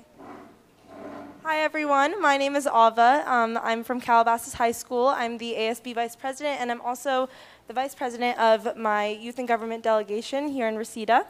Um, so basically, what we do to get involved is um, we are part of different organizations that really get involved in our communities and really try to make a change um, where we live. So, Youth in Government, if you guys didn't know, is a program where students from all over California get to kind of come together and voice their opinions. Um, we write bills, we draft legislation, we debate, and all of these different things that we do, there's different programs within the program, and we basically find our, our own way to kind of voice our opinions. And in Calab- like at Calabasas High School for um, in our associated student body, there's different ways that we get involved. We have an environmental commission at the city of Calabasas. I know Fred Gaines is here today, and we have a lot of students involved in that to kind of voice their opinions about environmental issues. We um,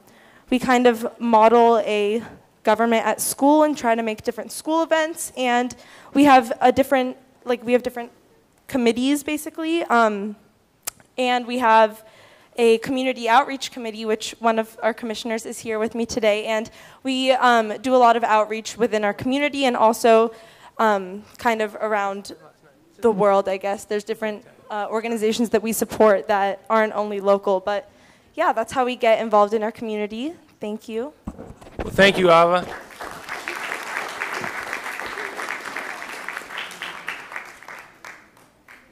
Gabriella table three.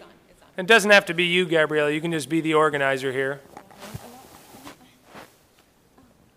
Got a little shyness going on, but it's okay. So, what are you guys talking about over here? A couple ways that you can get involved outside of voting on campus. Are you in a club? Are you in after school program? Are you on a sports team? What do you do?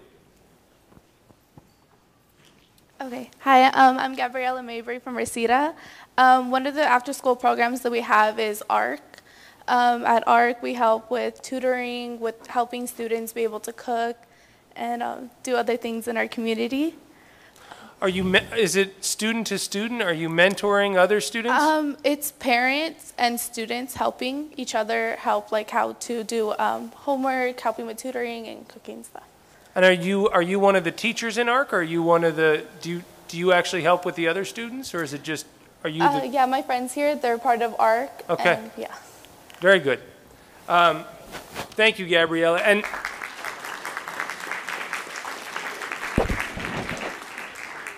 what, what I was hoping we could just very briefly follow up on is for our panelists, um, you know, we talked about this voting age question. David brought it up, and I know we saw, I know we saw about a, uh, a 55% uh, vote at the very beginning here in terms of whether we believe 17-year-olds are ready to vote.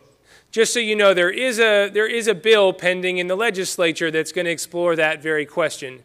But I, what I'm wondering is, um, it, it could also be for Dr. Romero as well. But we've been told that voting is a habit, just like any other habit we have, whether it's a good habit or a bad habit. Um, you could you could have you know you could be eating junk food. You could check your Twitter too many times a day. Uh, you, right? You could have uh, your own routine throughout your day, but if you don't exercise those muscles when you're young, uh, it's very hard to, to follow up. So, I guess starting with David, what have you found in terms of um, engagement at the high school level and before that sort of that vote occurs? And, and specifically, um, those of you who don't know, when you turn 16 now and you go get your driver's license, you're eligible for the first time to be able to register to vote at that point. But there is a two year gap. So you do your parallel parking, you pass your test, your big day, you get your license. In theory, they move you through and you actually fill out that registration form. But then there's a, there's a big waiting period. So, what, what pitfalls are there sort of between that registration point if we can encourage people to do that and actually following through on it? And, and what did you see specifically with kids in San Francisco and their sort of their response to this critique um, that uh, somehow young people aren't ready, that you're not sophisticated enough, that you're going to be taken advantage of, that there's too much fake news out there. We had a Facebook comment come in when we actually when we announced this hearing that said, "Oh, you're going to allow 17-year-olds to vote. Well, why don't you allow uh, my dogs to vote?" And a woman posted a picture, literally, of her three dogs.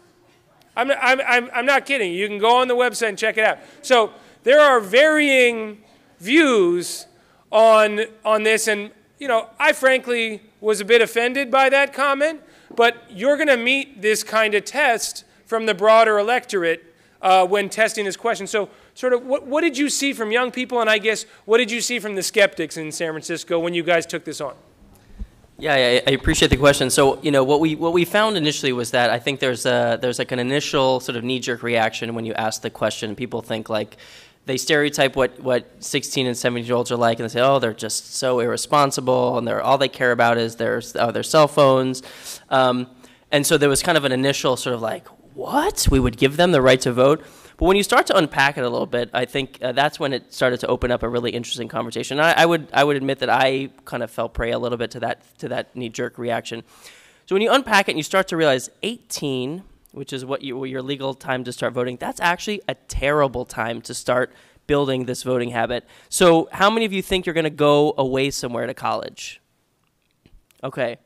So, for a lot of people, 18, you go into college, you join the workforce, but you find yourself with a lot of other competing priorities, right? If you move to a new place, you don't know the local issues, you don't know your local elected officials, you don't really even have a sense of connectivity to the community, right? And, and now your focus is starting college or starting a new job. Um, so to, st- to start also developing the vote, uh, the habit of voting is actually a really terrible time. Now, if you compare that to 16 or 17, when you're living in your community, you know the local issues because you live those local issues. Um, and now you have the opportunity to unpack those issues and discuss them in the classroom or around the dinner table. Now your opportunity and your inclination to want to start to vote goes through the roof, right?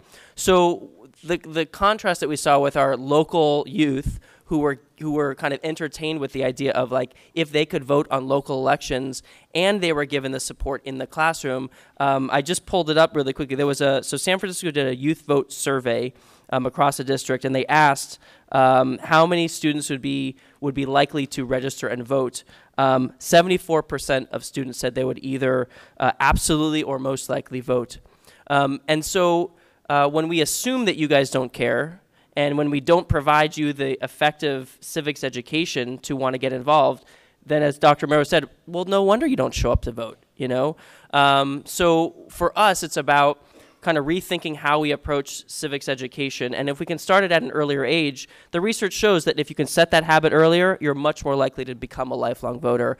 If you wait and you wait and you wait and it takes you a while to develop that habit, then we see what the voter turnout uh, percentages look like. So we're all about trying lots of different innovative ways of reforming uh, democracy and civic engagement at large. And, and so I don't think there's any one silver bullet out there that's going to be the answer. But um, we need to try lots of interesting things. And when we can ground it in local access to us, that's where there's um, where some movement can really take place. Okay, so building on what David was just discussing, I wanted to, to put this question then back to table one and table eight. I want to stick with Reseda High School for a second. So, uh, Shanaz and, and Christian, um, what I wanted to hear from you is when this opportunity to cast that ballot, and they're going to call it a duty. Now, Christian already understands duty because he's actually signed up to serve our country in the military. So uh, he may be a, a different kind of uh, have a different kind of attitude about it because he's already willing to put himself on the line for this country. But we're talking about online tools, right? Snapchat, a funny viral video that Rock the Vote puts out there, your civics teacher in the classroom. There's also your family, though, right? There's what happens at home. What, and, and then there's, you know, walking to school in the morning and seeing a homeless person living on the LA River uh, or riding the bus into school and dealing with a bullying incident or uh, something you see in the classroom that rubs you the wrong way.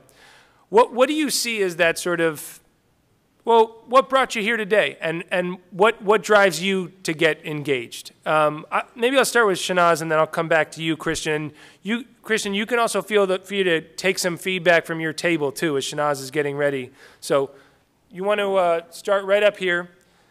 Um, and, and please forgive me if I uh, pronounced your name wrong. Did I get it right? Perfect. Okay. I like, I like hearing that I'm perfect. So.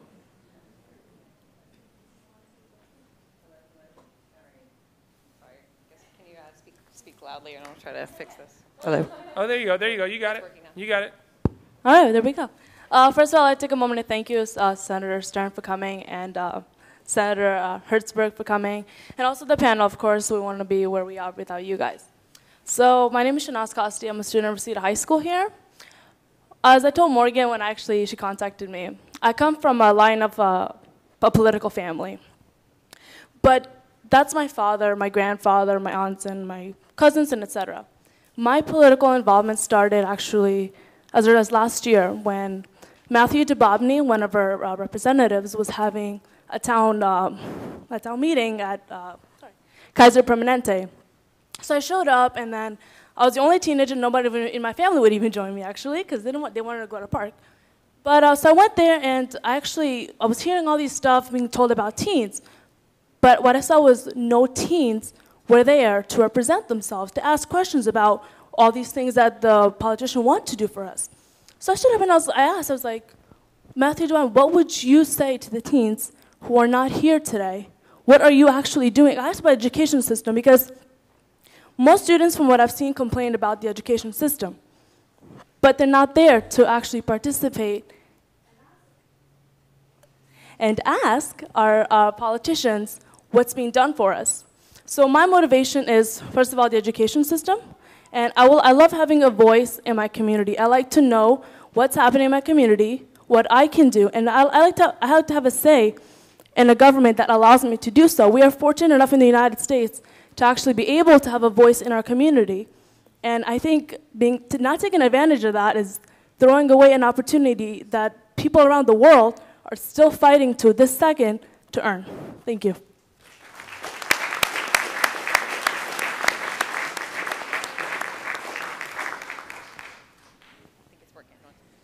Test, test. Okay, hi. Hi, everybody. How y'all doing today? All right, I'm cool. I'm glad to see everybody here. I'm glad to see Mr. Stern coming over here and having this committee meeting. Um, yeah, you know, it's just it's just surprising to me. Um, Senator, I understand that the question is what drives us to do what it is that we're doing here, sir. Yes. Okay. Well, I consulted my group about it. For those of you who don't know, I'm Table A, Christian Segoviano, everybody here. These are, the majority of these people are locals at Reseda.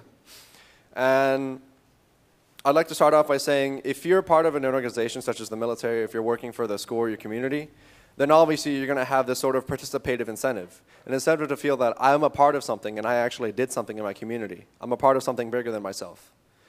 And that's true for whatever it is that you're doing, whether you're working at a church, whether you're working at a school, whether you're working at you know, maybe even out of your parents' backyard and just handing things out, handing food out, handing clothes out to different people.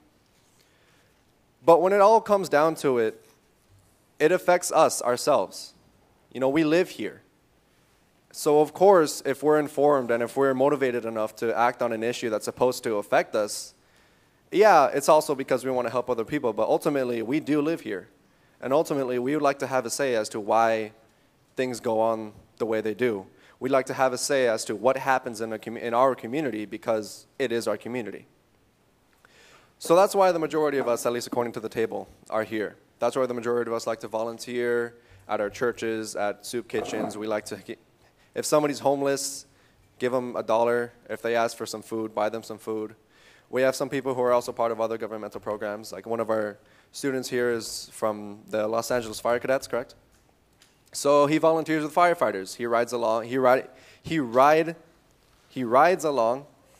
I forgot it. how to speak English. Apparently, he rides along with other firefighters, and he learns what they do because that's going to be his future career.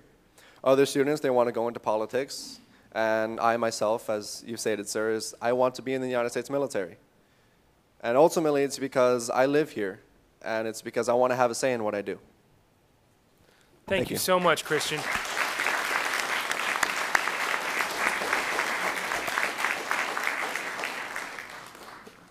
Um, so those of you who are remaining table captains, just know that you're not going to be spared. All of your tables will be called upon.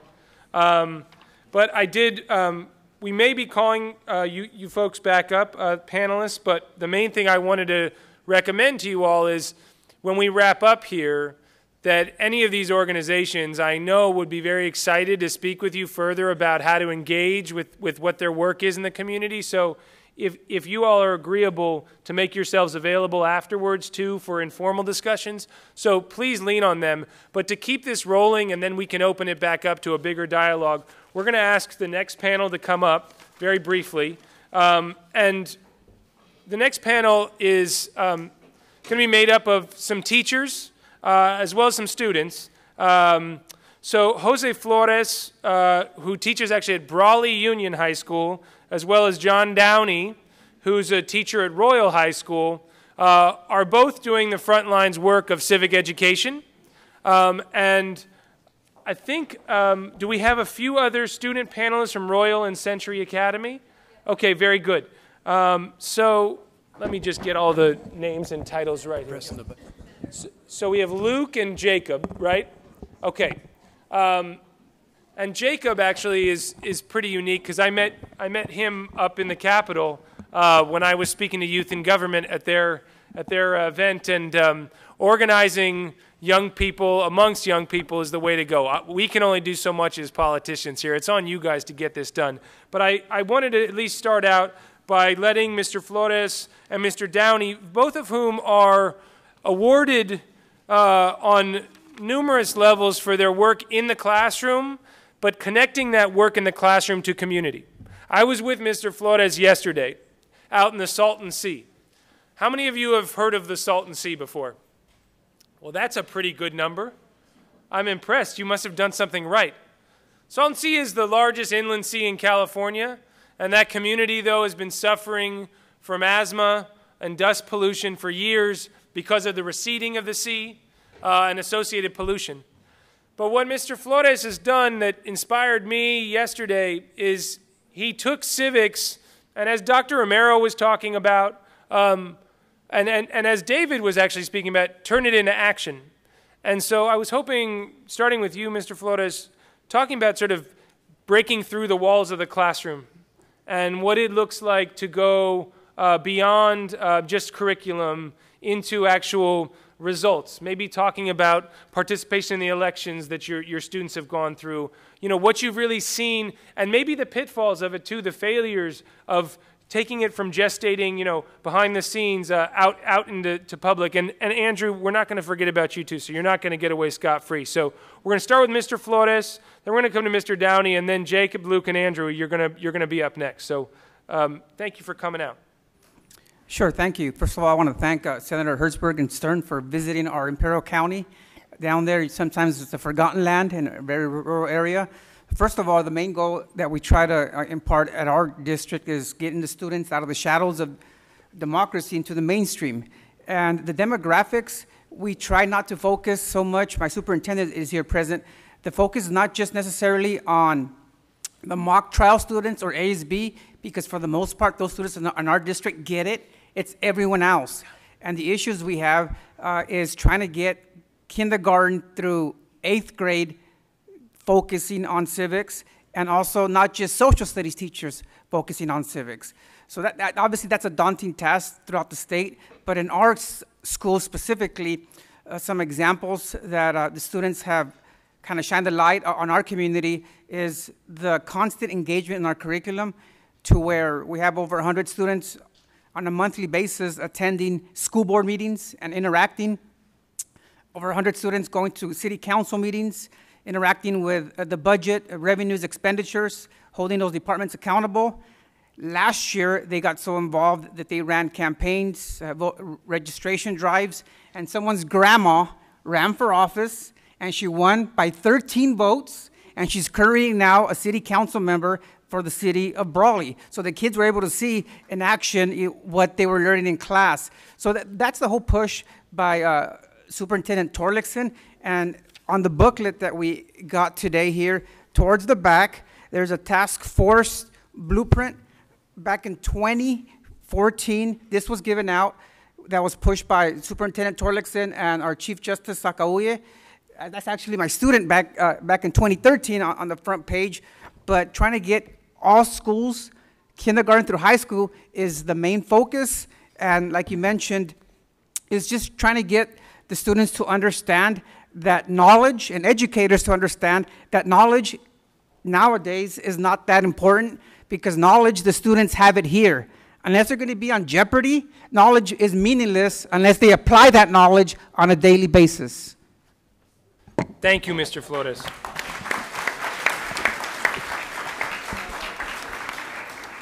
So, Mr. Downey, have you seen uh, this same sort of issue, though, that Mr. Flores was talking about in terms of that core group of the, the go getters, mm-hmm. or whatever you want to call them?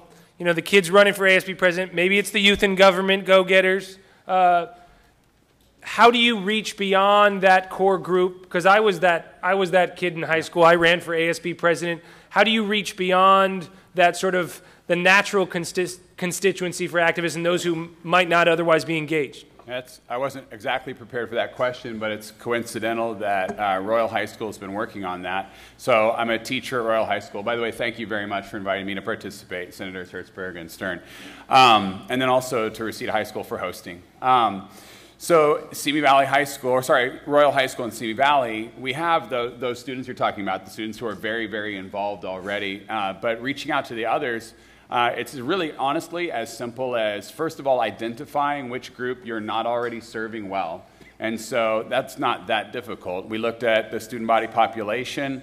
We looked at which demographic group is and is not in our highest level courses. We found the group that wasn't in our, uh, in our highest level courses, and we went out and invited them. So I think the key answer is inviting them. And so identifying who's not in that group and then asking them, you know, what are the reasons for not being involved? What are the obstacles you fear? um, and then getting them involved. Uh, I would just say that my own um, my own experience in terms of getting students civically engaged is uh, is I used to always think just give them the best possible instruction I could, but I, have come to learn that, and this came up earlier. Uh, if students don't know who their elected officials are at all, right, then they uh, then they don't know what the issues are and how to become involved. And so, uh, what we've been doing successfully is bringing as many of these uh, people onto our campus as possible, exposing our students to the decision makers. And so uh, Senator Stern was on campus because a few months ago he was running for office and he spoke, and he was uh, not the only local elected official who came to speak to our students. So Our students have the luxury of now getting to know those people, and as a result of knowing those people, uh, they're, they're more engaged. So uh, I think it's a shame that some of us don't meet elected officials until we're 25 or maybe never. And so making sure that our students have immediate access to these people, I think is very, very important. So, Luke, you you go to Royal. Yes. And you've seen Mr. Downey in action. So, that process of when, when the elected official come, were you there that day that I showed up? At? Yes, I was there. You guys grilled me pretty good. I remember it was a packed house. It was lunchtime, mm-hmm.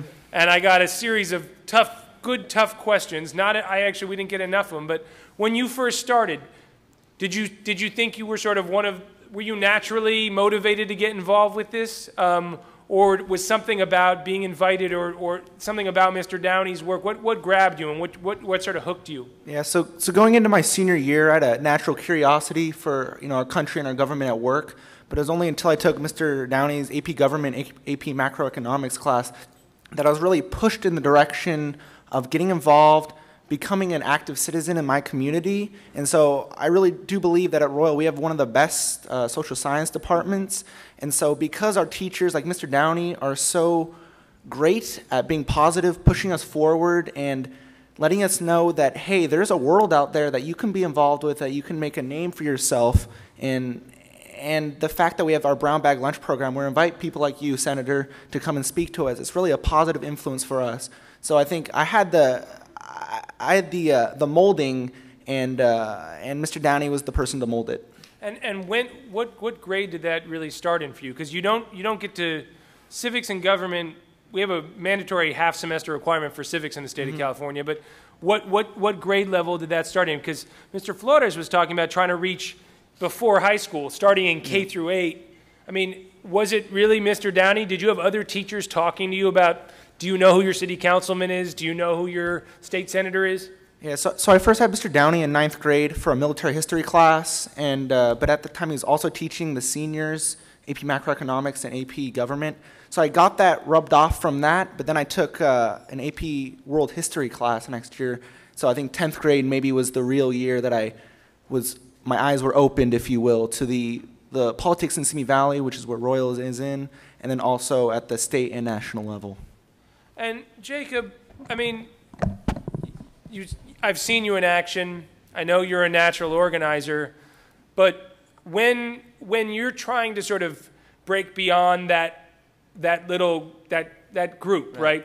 right? I, I keep calling it the go-getter group, but what what what have you seen work in in how when you're organizing within youth and government? How, how have you sort of reached out to say the kids who wouldn't nat- naturally even vote for ASB student council elections, let alone a presidential or a Senate election. Right. Um, one of the biggest things personally, um, I joined the youth in government program in sixth grade, so I was exposed at a very young age about uh, the idea of civics and getting involved, not just in your community, but uh, on, a, on a broad scale.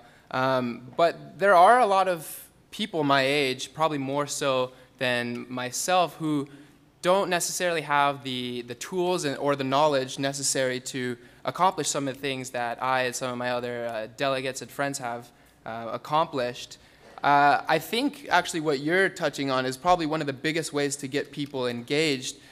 Social media and things like this, being you being here and sitting down with community members and, and high school students is probably one of the biggest things to, to open people's minds out. Like, like Luke said, his teacher really uh, opened him up to, to that kind of stuff.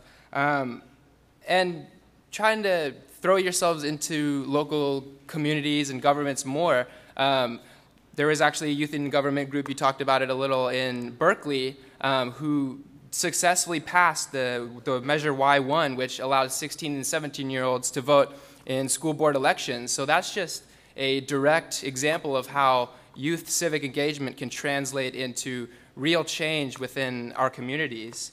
So. So uh, what what Jacob just mentioned is actually a really important point, and it's something we're exploring now in the state senate, which is this Berkeley Unified School District effort to allow that first vote, maybe not to drop the voting age for every election in the state, but specifically about your school board elections. Um, and so they're really going through that experiment, and I, I don't know if you guys are contemplating it out in Simi and, and, right. and that district? We actually did take uh, kind of an initiative on ourselves. We saw how you know our peers could do this, and so we tried to. We did lobby actually to our uh, city council. Um, there was some issues with general law and charter cities. That's all kind of wonkish, wonkish stuff. Um, but uh, yeah, um, and it's important to note that Y1 actually passed with 68, if not, I think it's actually 70% of the vote. And the measure in San Francisco that didn't pass, that would allow 17 uh, year olds to vote in local elections, that narrowly died. It, it, got 48% of the vote. So there's definitely interest from uh, the public on, on expanding youth voting and civic engagement. So, Andrew, just to build on that, then, I wanted to ask you do you vote in. Um, what, what votes are you guys taking actually at Reseda? Not, not in government, but uh, homecoming king, homecoming queen, ASB president. Are, are, have you participated in all those elections?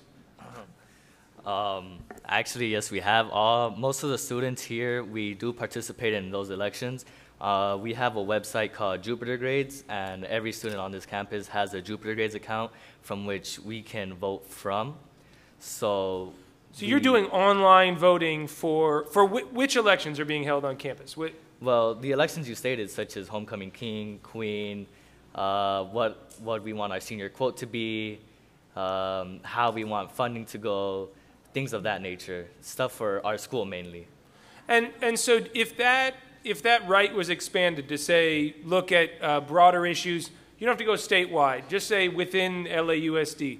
Do you think there would be interest on campus in, in sort of being able to use that same framework to say, weigh in on how you feel about broader district issues, whether the school should be getting more funding or college counseling or mental health counseling or after school participation? Is that, um, would that be appealing, do you think? Or do you think, I mean, I don't want to feed, feed the answer to you because sometimes, you know, people just want to do the popularity contest thing. And that's actually the most fun vote to cast is you just sort of click on who your friends are and like I like Susie and I want her to be the homecoming queen and everyone rallies there. Do you think that it is this other part of it too wonkish as Jacob put it? Is this too boring or is there does it feel real? Um, well, I think that we could apply it to other things, such as you were saying, to more uh, broader subjects. That could be uh, very much uh, a possibility.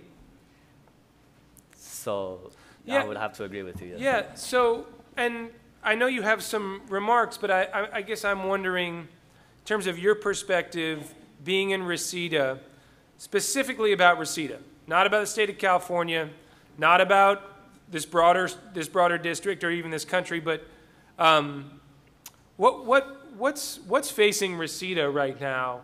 You live nearby, I assume. Yes, I do. So, what are you seeing in the community that that that isn't being responded to right now? What needs aren't being met? Well, in the community, most students here, uh, most of them have to deal with paying for college. So a lot of the students here are mostly going to college and students don't really know how to uh, pay for college other than uh, federal aid. Because mainly, most of the students here, when they try to look for jobs, they're either already taken or they're not hiring uh, high school gra uh, graduates. They want something more, which is a college education. But we can't get that college edu education without paying for it. Mm -hmm. So that's a, a main problem that we are having. Okay, so let me let me build on this, and I want to come back then to Jacob and Luke as well, and let any three of you. Actually, I may may open it back up to the room. So if, if what Andrew's talking about here is college affordability, let's just take that topic for a quick second, um, and trying to finance your education. Student debt is completely crushing social mobility out there, and our generation has the, the, the lowest spending power of any generation uh, in the last 50 years uh, in terms of being able to overcome the cost of college and actually get yourself on track to where you can afford to have just a normal middle class life. So if we're, we're, we're looking at legislation in Sacramento right now to improve scholarships, to actually pay down the cost of student debt, um, and to find other kinds of grants and loan programs to offset some of these costs. So um, let's, let, me, let me think. Who are we going to? Let's go table five uh, with Tessa. I don't know if it's still Tessa with, at Newbury Park. It's still Tessa.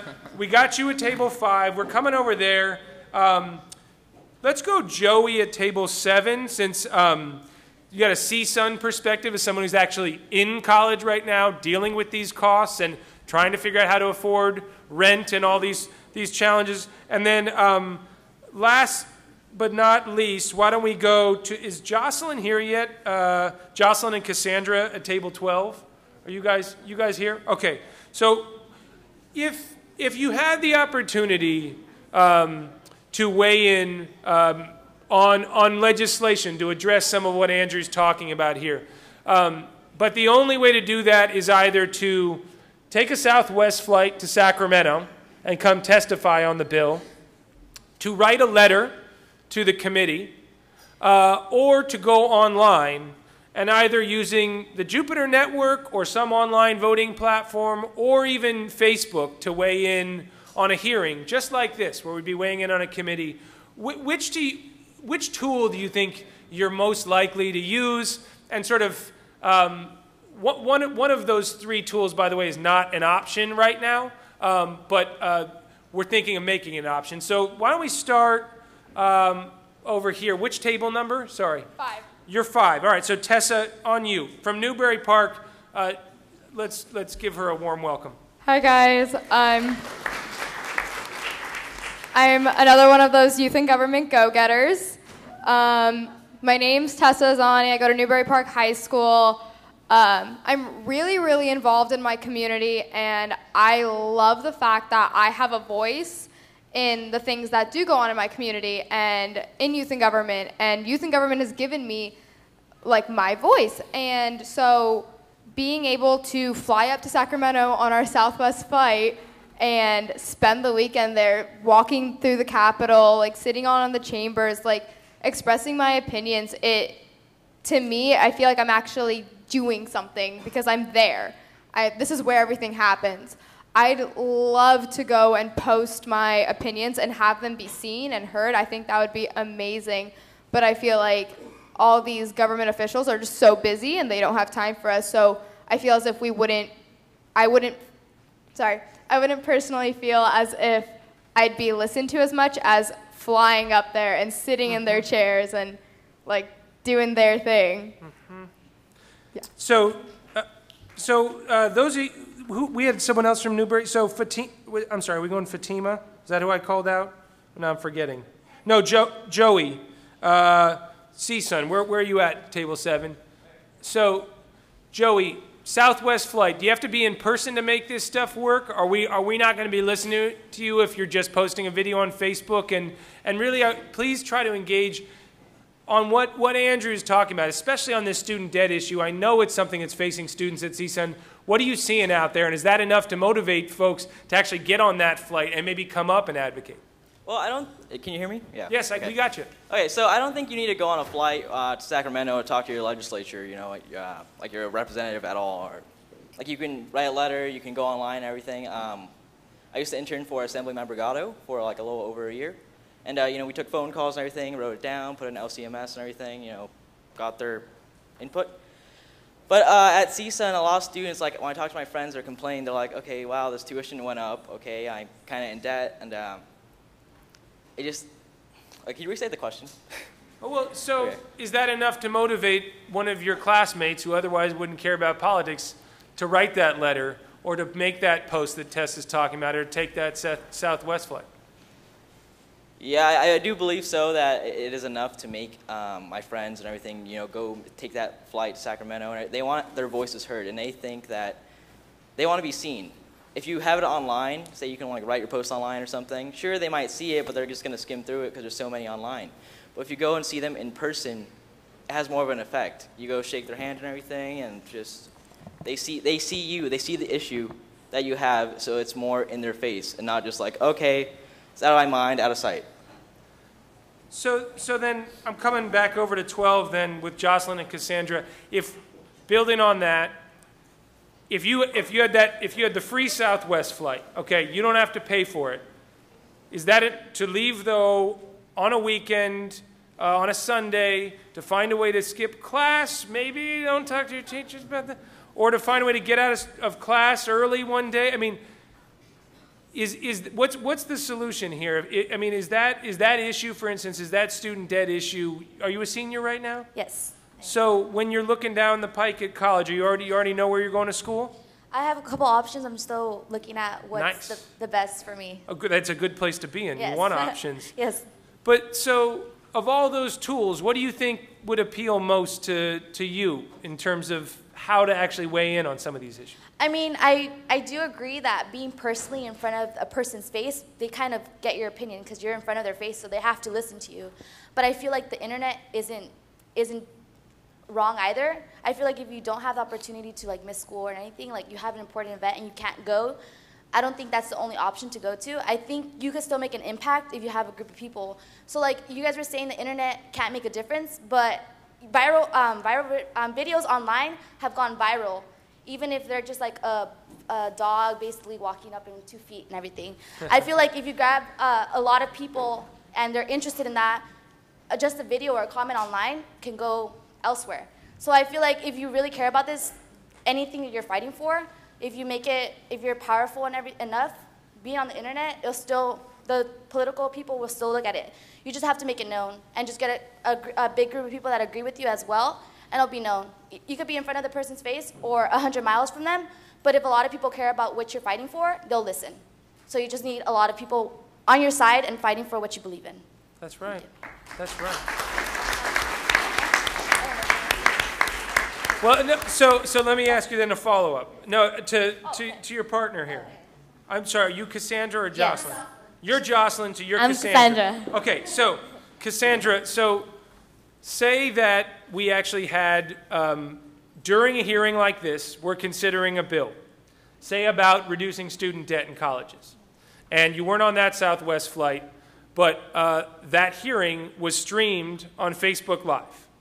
And we actually had an opportunity, uh, we were required as legislators to have on an iPad in front of us a stream of comments coming in, right? So not just comments in person, but actually seeing your, your, your, what, what you, it could be a heart or a smiley, it could be an angry face, or it actually could be um, real video testimony like some of what uh, jo- Jocelyn was talking about. So um, is that does that sort of um, destroy the distance then between us right here in Reseda and Sacramento or Washington D.C.? Like, can you see yourself actually participating in a Facebook Live uh, hearing and trying to weigh in in some way? And do you see any of your classmates being interested in using Um, that kind of platform, I or not so much? so because I'm a lot of social media. Like we have Twitter.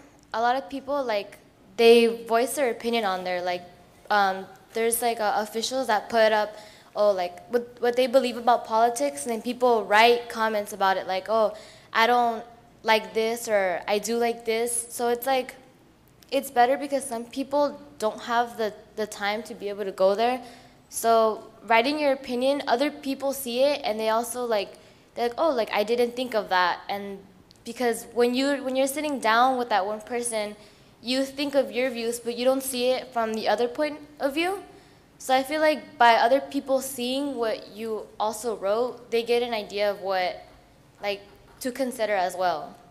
Absolutely. So Senator, I actually have a follow up. Yeah, please, jump in, Jacob. So, how many of you here uh, found out about this event through social media? Oh, that's a good question. That's a good poll. So, a good chunk of the room. Uh, I experience coming from a unique perspective of being in high school is although voter apathy may be, you know, it it may seem like that with low voter turnout, I don't know one person my age who doesn't have an opinion. We have, you know, the, the power of the world in our, our palms and all the technology we could and information we could ever know. Um, it's just about pinpointing how to exactly engage, you know, Facebook Live or, or doing online polls, stuff like that. It's, uh, all of us are interconnected, and so if I could send you a message when you're up in Sacramento and you can really see my message, I think that's a big step from where we've come in the past 10, 20 years.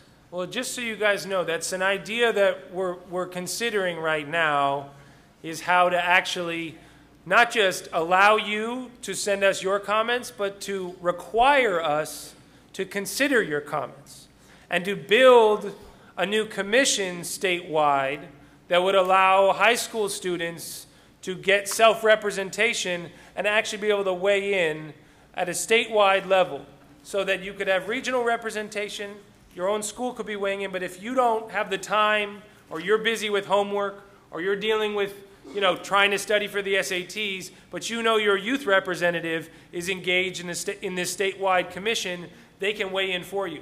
So maybe during that vote, right, that Andrew's talking about, that you're taking on the homecoming queen or you're taking on ASB president, we're also entertaining the idea that you could vote on a statewide youth representative um, and building that into the existing voting process. So we can still do the popularity contest. We can still do, you know, who you want to ride on the float. But maybe alongside that, we're going to actually build in the importance of government and civics. So um, I, we're, we're, we're, we got to keep this moving. We may come back to you all, but I, I do want to bring up our third and final panel. So can we just give this panel a big round of applause?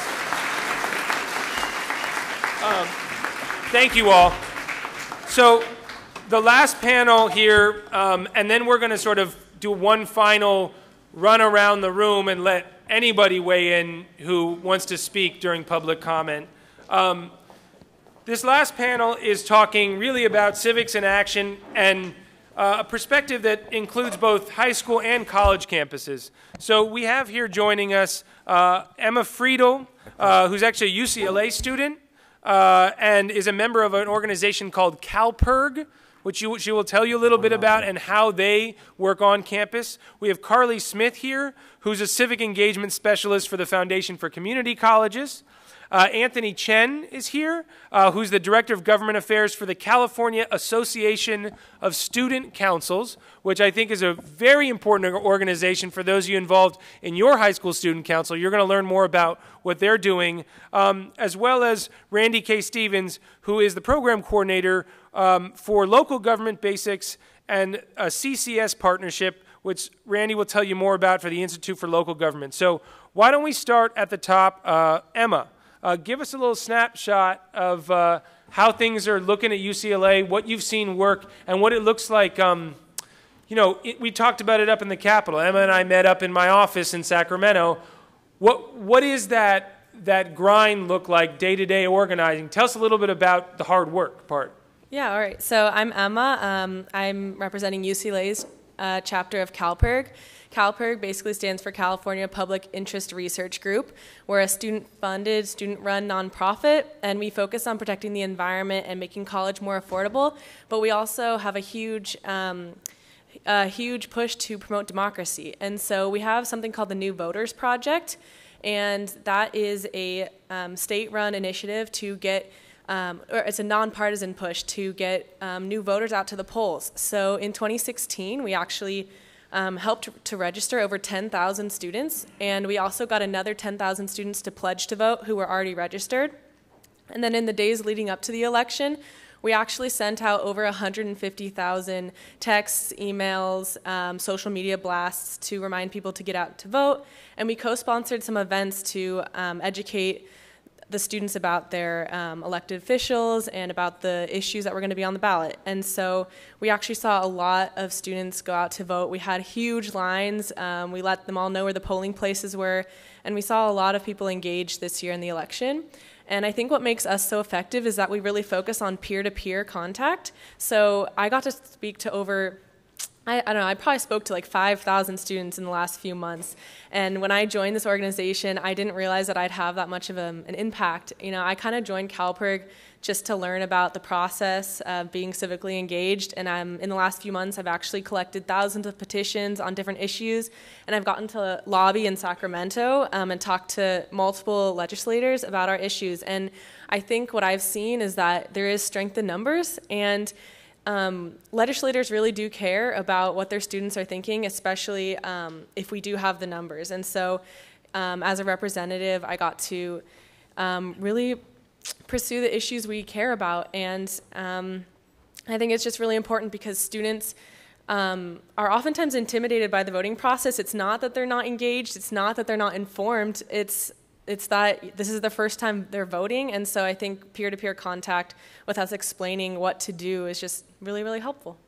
Can can you just before we move on talk about what it actually looks like on the Right. ground? Like you're you're where you're on Bruin Walk. Yes, That's- okay. So I, I want to just tell tell them about you know being out in the rain and you know Yeah. harassing your friends. So we actually had something called our pledge drive. Uh, it was a two-week drive to get a bunch of students pledged to CalPIRG. As I said, we're student-funded, so we actually have to go out and talk to students one-on-one to pledge a $10 fee to support us. And so I think I did about 30 hours in two weeks of, st- and it was the two weeks that were raining like crazy, and we still kept our pledge drive, and we're standing out in the rain with clipboards. No one wants to talk to you because they're walking from back from class, and you just have to wave down people and talk to them. And um, it's hard to stop people, but once you do, they really are interested in what you have to say, and you get to meet a lot of really cool people and hear a lot of cool ideas. And so, yeah, on the day to day basis, I'd say that I am just standing out for hours uh, in our plaza area, just waving down people and talking to them. But it's a really good experience. So, Well, I just want to say thank you for putting in the work because that's actually what democracy looks like is when you're grinding out there. Carly, I'm, I'm hoping give us a little different perspective here though. You're you're you're involved at the community college level. Different different type of engagement on campus. Um, not not all students live on campus. There's some commuter schools you're dealing with. We've actually had some of in terms of participation rates on college campuses, UC seems to be ha, have had the highest sort of feedback and turnout when we've done these MOUs and actually Mhm. try to turn students out. What are the barriers you're seeing at, on, on community colleges to really turning out votes and making those students? Because I, how many of you are thinking of going to, to Pierce or Moorpark or community college in the area? I'm just curious. From, so, so we've got, and some of the best community colleges, by the way, in the country are out here with amazing transfer rates. But when you're there and you're 18, 19, what, what's, what are the barriers to entry that you're seeing, Carly?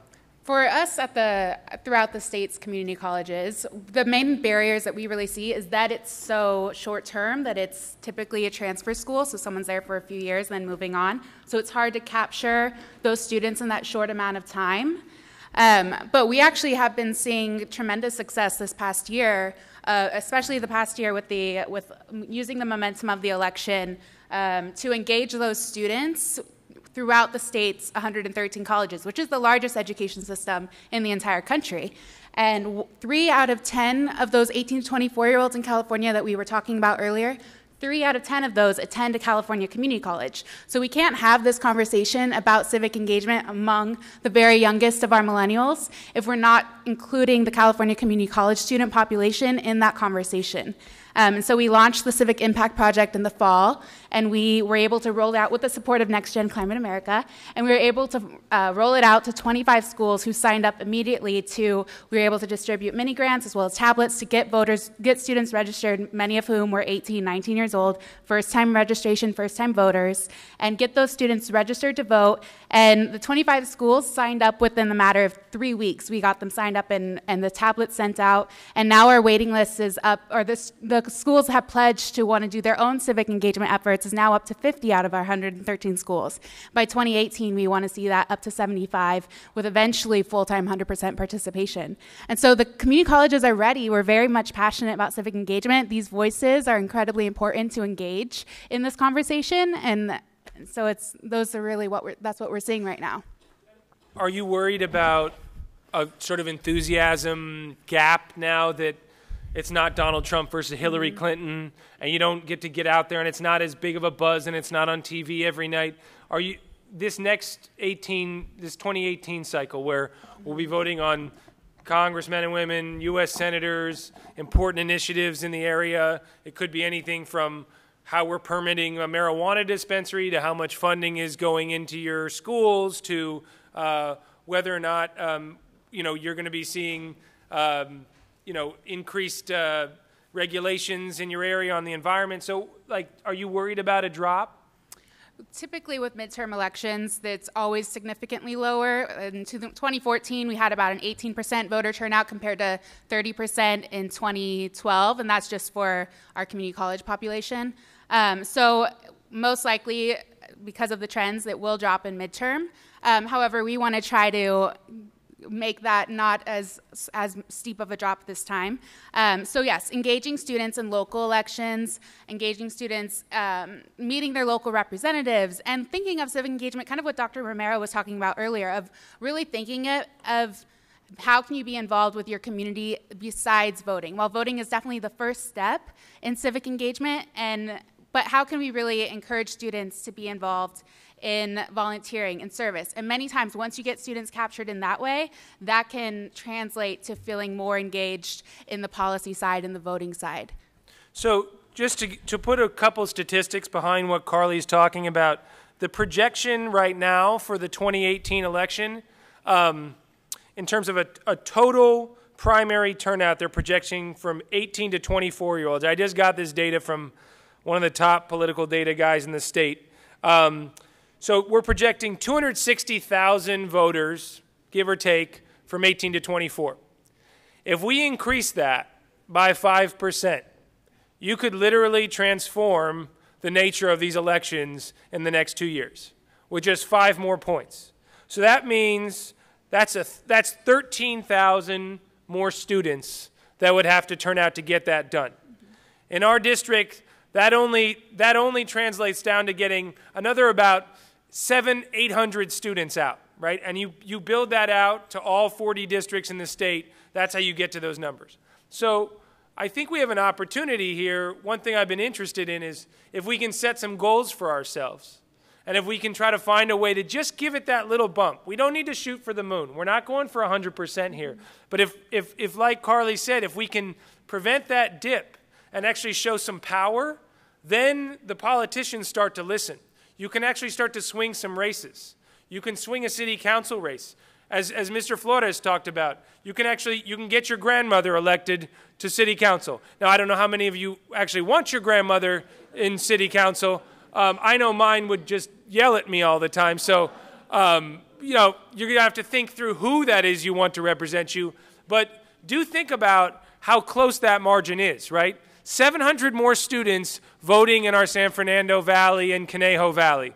That's the margin, right? It's not that many. And if you translate it to this room, it's three or four additional students voting who weren't going to otherwise. So each one of you really has a that little ability to just turn that dial, and you add all that up, it has huge impact. Um, Anthony, I wanted to come to you next and just have you talk to folks about what what is the, the California Association of Student Councils, and and what are you guys doing on on high school at high schools all around the state?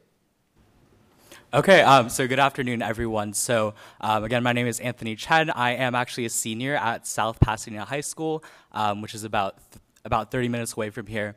Um, but I'm here representing the California Association of Student Councils, or CASC. Um, so I'm just going to tell you a bit about what the organization does um, in terms of fostering civic engagement within um, our K through 12 students. Um, so what CASC kind of does, there are kind of two branches of CASC. So one side um, kind of deals with what the name is talking about, the Association of Student Councils. So we train students basically in how to be more effective leaders in their roles as members of their school student government. So what we do, kind of like what Emma, what you were talking about, the kind of peer-to-peer interactions. So we train students basically how to be more effective leaders um, in whichever leadership role they take. Um, but we do that through a peer-to-peer method. So you're learning curriculum, you're being developed, um, you're participating in you're being facilitated in discussions by a high school or a college student. Um, so it's someone who you can really engage with meaningfully. Um, and that really work carries, I think, throughout um, both our state and around the world. So what we do, um, we actually have a branch in Russia called the Association of Young Leaders, which was actually the second ever nonprofit established in Russia, um, doing kind of the same work we do here in California. And we have a branch again in China that's doing the same work. I'm actually going to be heading to China probably in about a month, training 20 adults in the same things that we teach students in our organization, which is really cool. Um, and the kind of the other side of our organization, and I guess the side that I'm more involved with, um, that really pertains to what we're talking about here today. Um, so this side of our organization really deals with students being able to shape education policy. Uh, so as students, most of us here are high school students. Um, we have a really unique perspective, right? We're the people who are actually experiencing the policies that our school boards, that our administrators, that our state senators, assembly members, and even our federal representatives do, uh, and we can provide really insightful, really insight um, to these people. So one thing that CASC does, we host conferences. Um, one of them is called the Student Advisory Board on Education. One of them is called the Student Advisory Board on Legislation in Education. Um, but what we do is we bring together students from all across California, and they come together, they identify issues that they see within their education system. Uh, so this last conference was actually in February, and students kind of talked about issues within uh, student voice, technology, LGBTQ plus discipline and student support, and they're actually able to present um, these proposals to the Senate Education Committee, uh, which includes Senator Leyva and Senator Allen, who are also a part of the Senate Elections Committee, um, which is really cool. And what's really, really um, what's really interesting and I think really meaningful about what we do with that is that the proposals that the students make actually basically have tangible impact. Uh, so last year, actually, a proposal that I wrote um, at this very same conference is now in the California State Assembly as AB 261, um, and hopefully it will become a bill. And in the past, uh, we actually have had uh, previous legislation been passed. And what's really cool about this is that we're basically giving students the opportunity to be involved um, civically in the education system and really make tangible change. So they're really making proposals that would become laws. They are lobbying uh, to senators and assembly members. They're working with a bunch of other organizations, all as high school and middle school students. What's AB 261? So AB 261. Um, so how many of you guys know what a school board is? Can you can I get a raise of hands?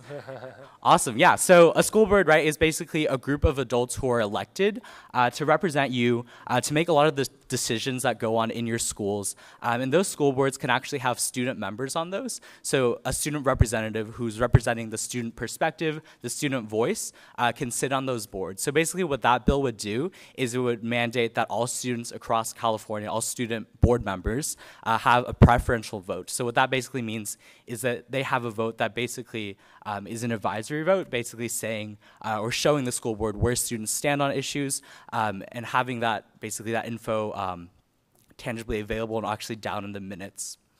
So, in other words, not just to be a passive ob- observer as, a, as an appointee to a school board, but to actually, even if your vote uh, doesn't technically uh, move a particular agenda item, it's noted in the agenda, and you know where students have weighed in on whatever the issue may be school lunch, security issues, discipline, curriculum. Yep. Mm-hmm. Okay. Who's carrying that? Who's carrying uh, the bill? Assemblymember Tony Thurmond. All right. Well, I would encourage you all to go look at AB 261, and we'll be talking about plenty of other bills, I'm sure, in the in the weeks to come. Um, so finally, uh, Randy K. Stevens, give us a little insight on what Institute for Local Government is doing out there and what's working. Thank you very much. I want to thank both senators for having this hearing and, and, inviting the Institute to participate. The Institute is a research nonprofit affiliated with the League of California Cities, California State Association of Counties, and the Special Districts Association.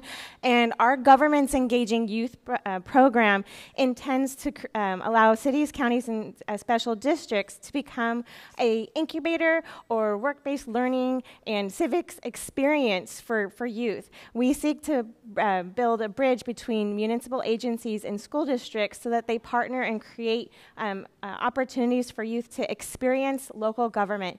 Um, there's you know more than 1,000 special districts, 482 cities, and 58 counties in California. And in general, the workforce of California is nearly one fifth government workers, and that includes higher education we have adults and employees in our government agencies that can serve as mentors and provide real work-based learning experiences from job shadows to um, actual internship direction to really help um, youth see themselves as part of local government because it goes beyond just um, knowing how to vote. It's about participating in the decision-making process and understanding what happens in government and how government actually functions. Um, local government is at the heart of what we all experience every day from the sidewalks that we cross to the, um, the roads that we travel and how we turn on the water in our homes. And, and youth are impacted by local government. We want youth to know how they can become part of the process. We want them to know that they are also part of the workforce of the future. And we see um, the bridge and connection between civics and workforce readiness.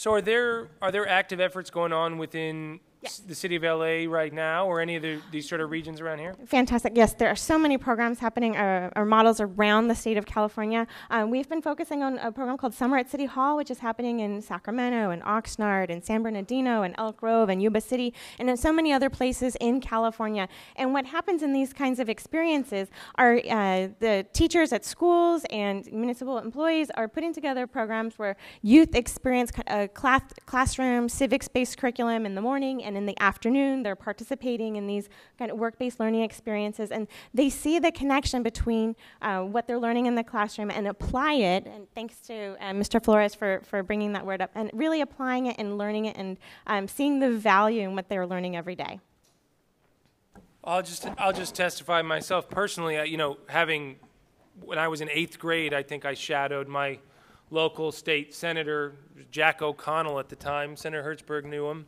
um, when he was serving. Just it was it was so intimidating and overwhelming seeing it all happening, but at the same time, it really opened my eyes up. And he was generous enough. I think he just did it on his own.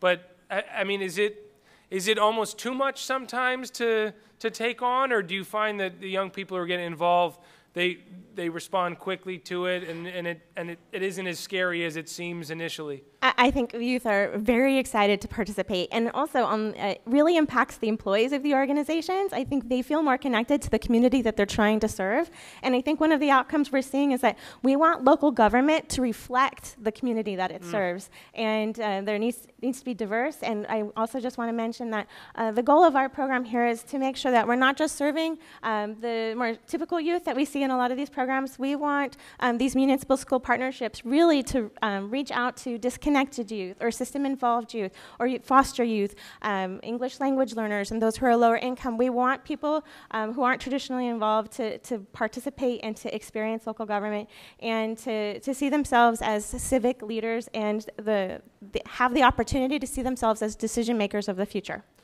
Well, on that note, we're actually we're going to be making a big push around engaging foster youth in the voter registration process this year. We've got a bill we're working on where those who are involved at, this, at the county level in foster care programs are offering those voter registration and voter education opportunities to young people because often those who have to deal directly with government services like that have the most mm-hmm. at stake if you're you know if you're dealing with health care that's government provided or if you're dealing you know with the foster care system you actually have a bigger stake often so um, can i just we, we have a few more tables to weigh in and i wanted to build on a, a point that uh, uh, Randy K. Stevens was just talking about. And then we're going to open it up for a final public comment, and then we'll sort of wrap this up. But so uh, let me just take stock here. We've got uh, Fatima at, at table four. Have, is Fatima still here? We still got her? Or is table four still here? Let me see. Uh, oh, we already went to you guys. Okay, so you're 12 and 4? You switched it on me. Got it. 12 is no more, 12 has become 4. Got it. Moving on, table six, Gabriel Herrera, you guys up?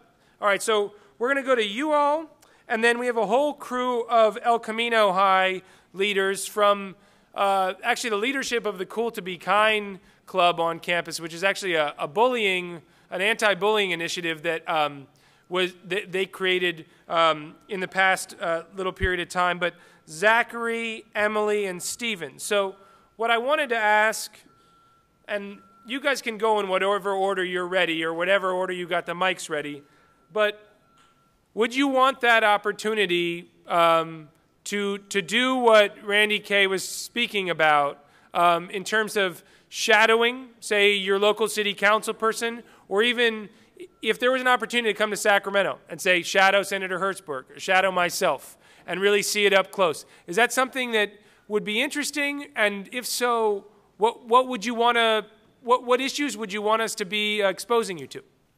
So I don't, you want to start, let's go start at six. Is it Gabriel? Gabriel? Joshua. Joshua, okay. Son? Hello, my name is Joshua Anderson. I am a student at CSUN. I am sorry that I'm not dressed as nice as our other speakers. I am uh, graduating this semester, so I kind of just put on whatever's clean at this point. um, I want to give a quick thank you. Um, could you repeat the question just really quickly? I had a few. So ears. would, would you have time and interest in coming up and shadowing your leaders, either at the, the city, county, or even state level? And if so, uh, what, what would you want to, what, what would you, what would be at the top of your list for, for issues? Well, in terms of that, I wanted to bring up um, a separate issue that's sort of related to that. Um, I think it's wonderful that youth have a representation and a voice in Congress and, and their ability to vote. I think what there is a bigger underlying issue that is going to be a hurdle when overcoming this obstacle, and that is the fact that you saw a chart earlier that showed that the majority of people who vote are between the ages of, I think it was 65 and about 72. The reason that they have that opportunity to vote is because at that age, they're not really doing much anymore. Those are the retirement ages. Those are people who don't have um, as many financial obligations, as many community and educational obligations that they have to, to adhere to anymore. The biggest reason for voter low turnout is the fact that we're one of the few places in the world that has their election cycles during the work week, during the school week. You can give a 16 year old, you can give a 17 year old the ability to vote, but if the voting day lands on a Wednesday, you're going to ask a student to choose between school and extracurricular activities and those who are student athletes. Oh, I'm sorry. We just changed that law. Okay. You're going to be allowed to vote for 10 days.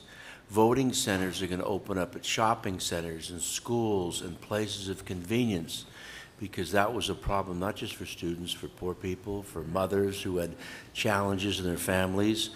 The voting will change for 10 days. That's actually there incredible will be no challenges. That's called SB 450 by me and Senator Allen. That's so great news. there you go. Your Yeah. comment was just responded to instantly by state government. That's how quick it can work. But your, your, but your point still stands, Joshua, which is you're a busy man. Mm-hmm. You're trying to get through class. You're trying to get a clean shirt. It was a Uh, two hour drive for our last was a- local election. Exactly. And so, um, beyond that 10 days of voting centers, doing this sort of engagement that we're talking about, do you have time to do it? Do you even have time in your life to, to stop and, and, and fix the system that you're already a part of?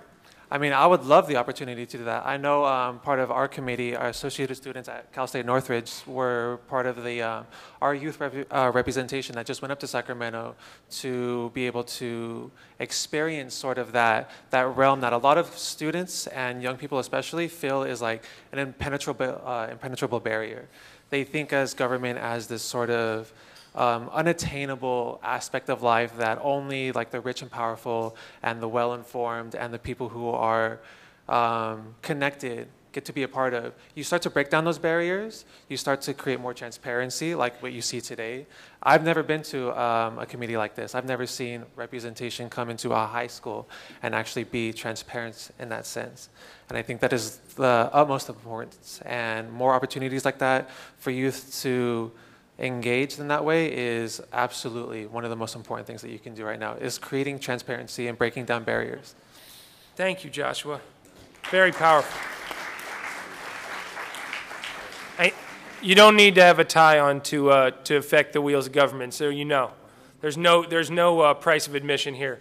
Let's, uh, Morgan, who, who do you have next? We, we've, got, we've got our El Camino crew, so I don't know between Zachary, Emily, and Stephen who, who's, who wants to go first. Emily. Hello.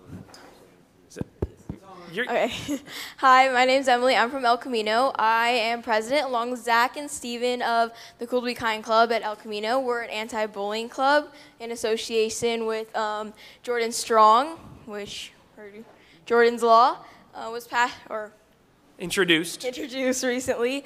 Um, so I would de- personally, I would definitely love to shadow a senator and our representation in the higher areas of our government.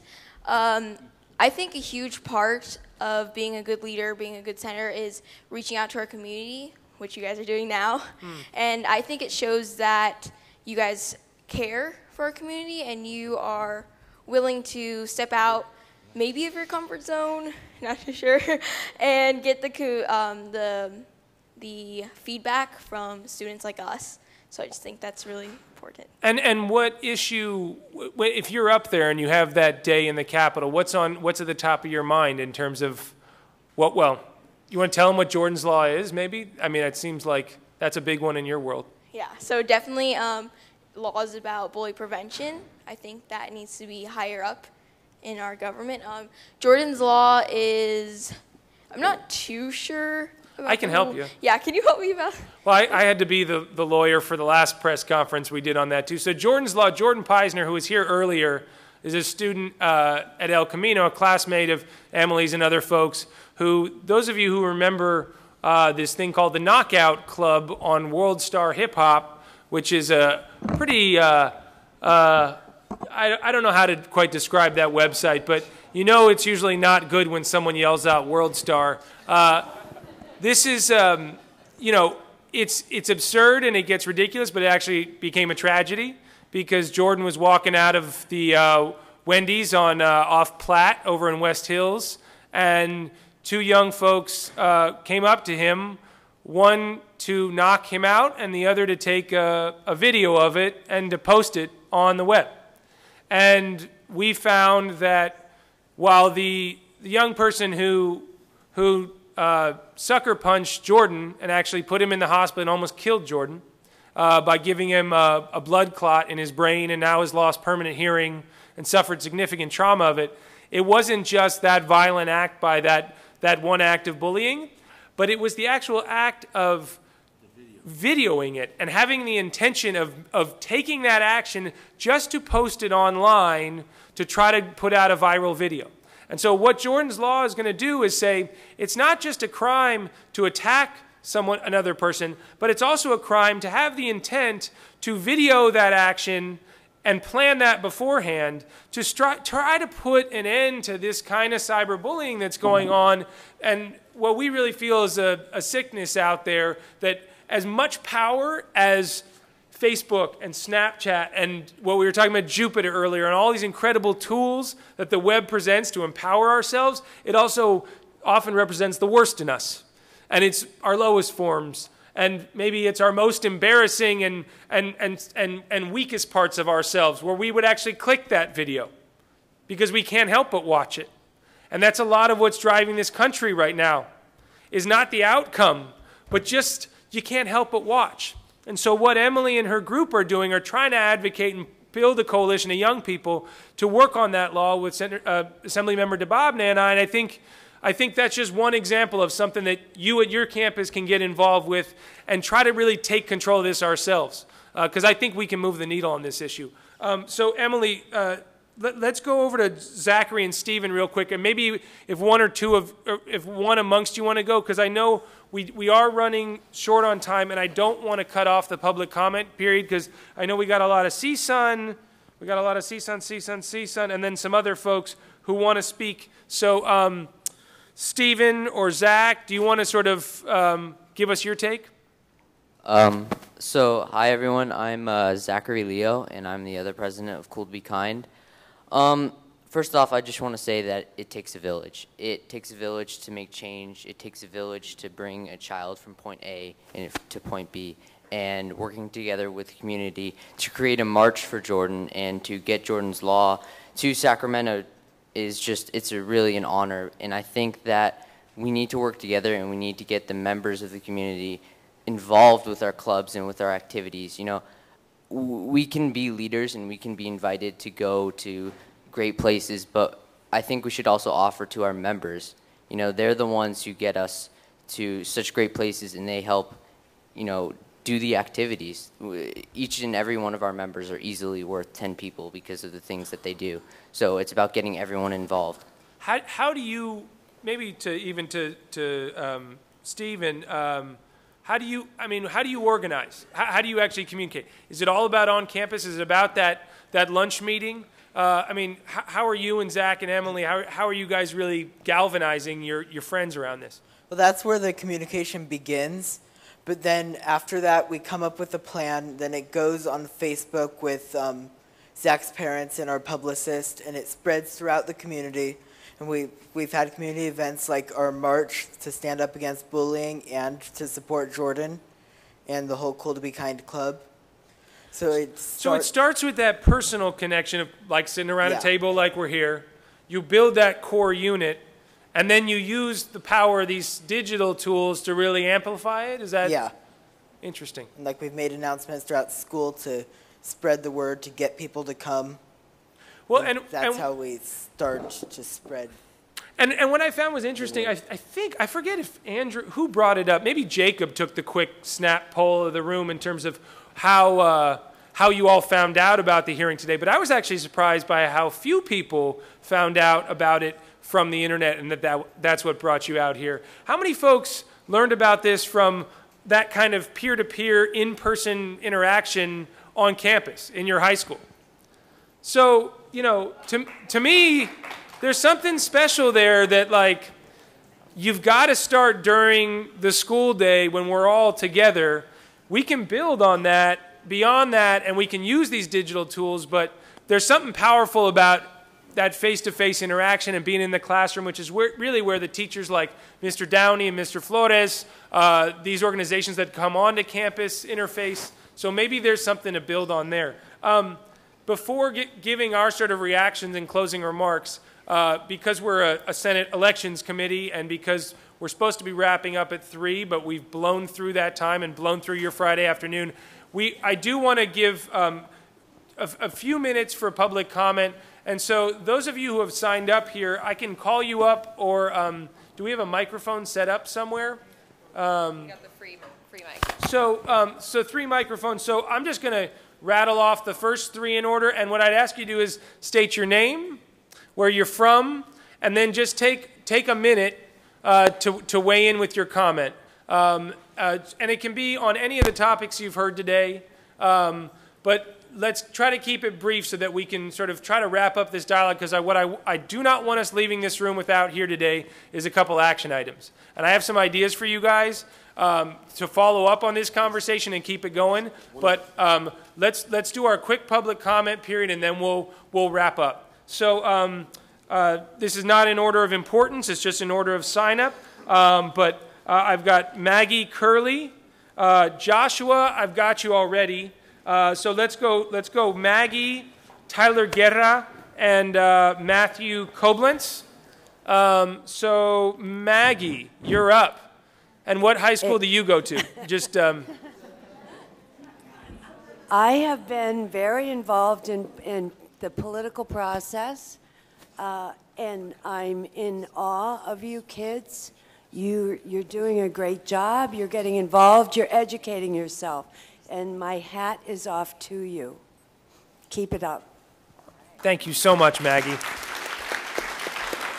Th- those of you who don't know Maggie Curley, she's, she's based in the Conejo Valley, and she's one of the leaders in the Democratic Party out in that valley, and, and, and puts in a lot of time and effort. So if you're, very, if you're interested in what it's like to volunteer on a campaign of any kind, she's an incredible resource for you to talk to.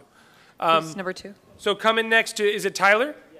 Okay, Tyler, you're up. Hi, my name is Tyler, and I'm a CSUN student.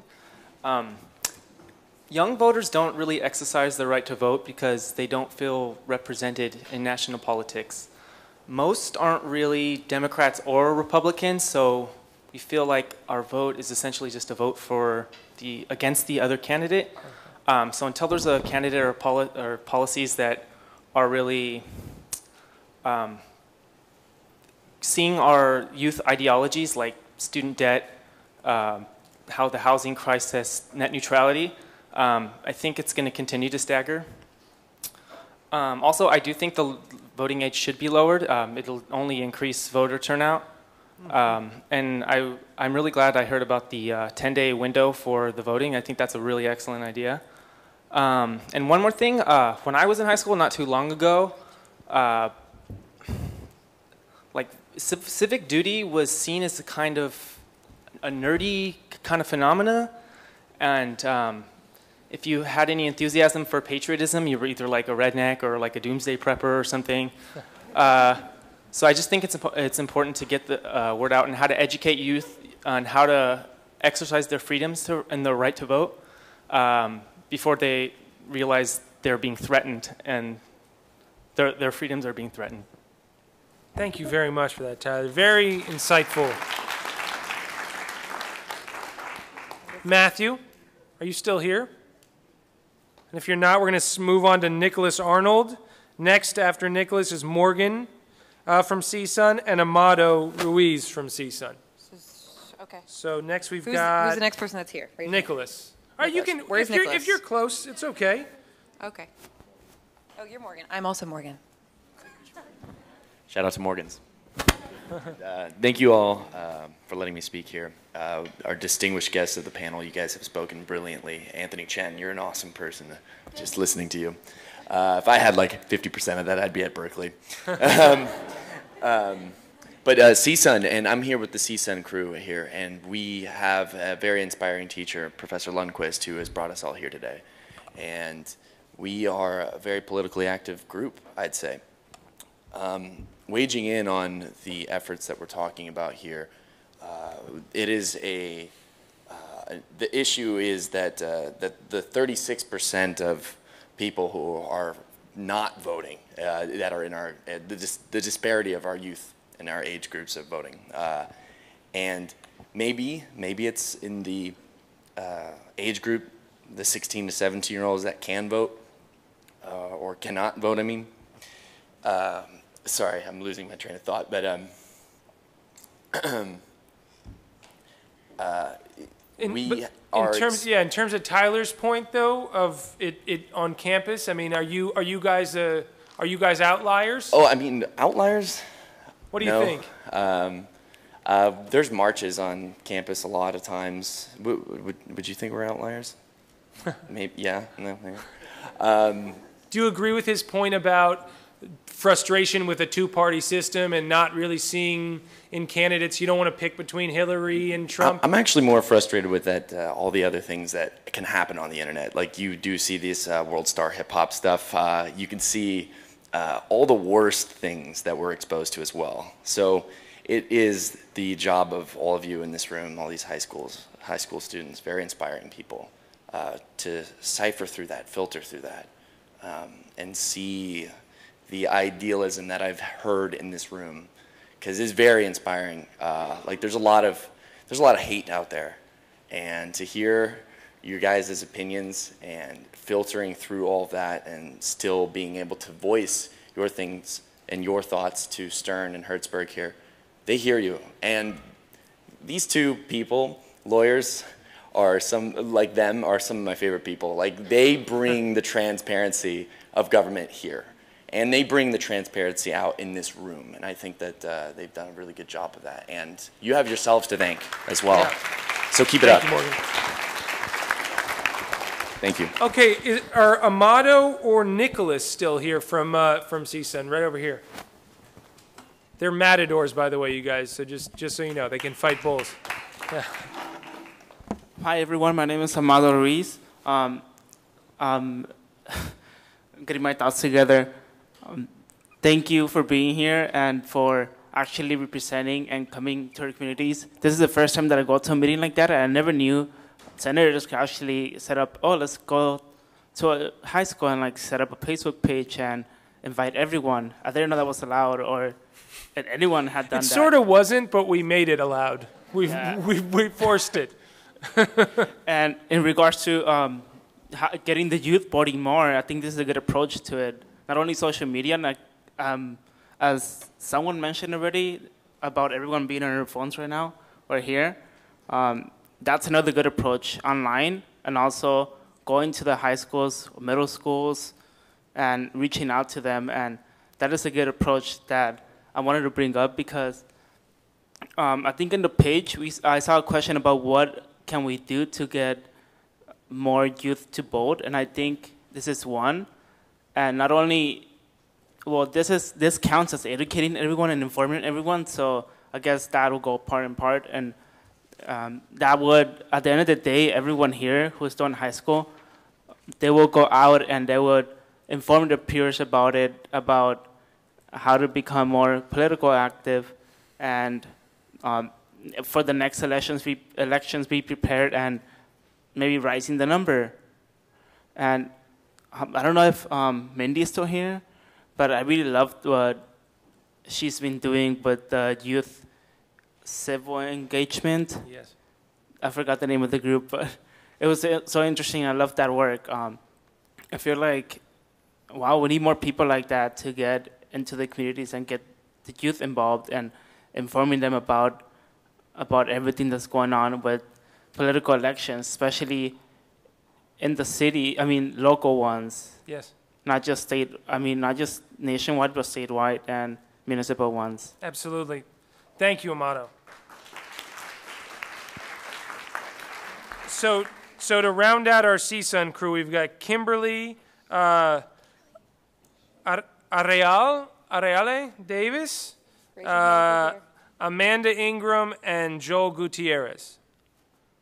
I don't know who, who's left and who had to go to work, but Hi, Hi. I'm Arielle Davis. Um, I'm with CSUN, and my major is business marketing, minor in sustainability. So when you are talking about ballots going online, I love that idea. I think it will get the youth voting more, and it saves trees. So plus for that.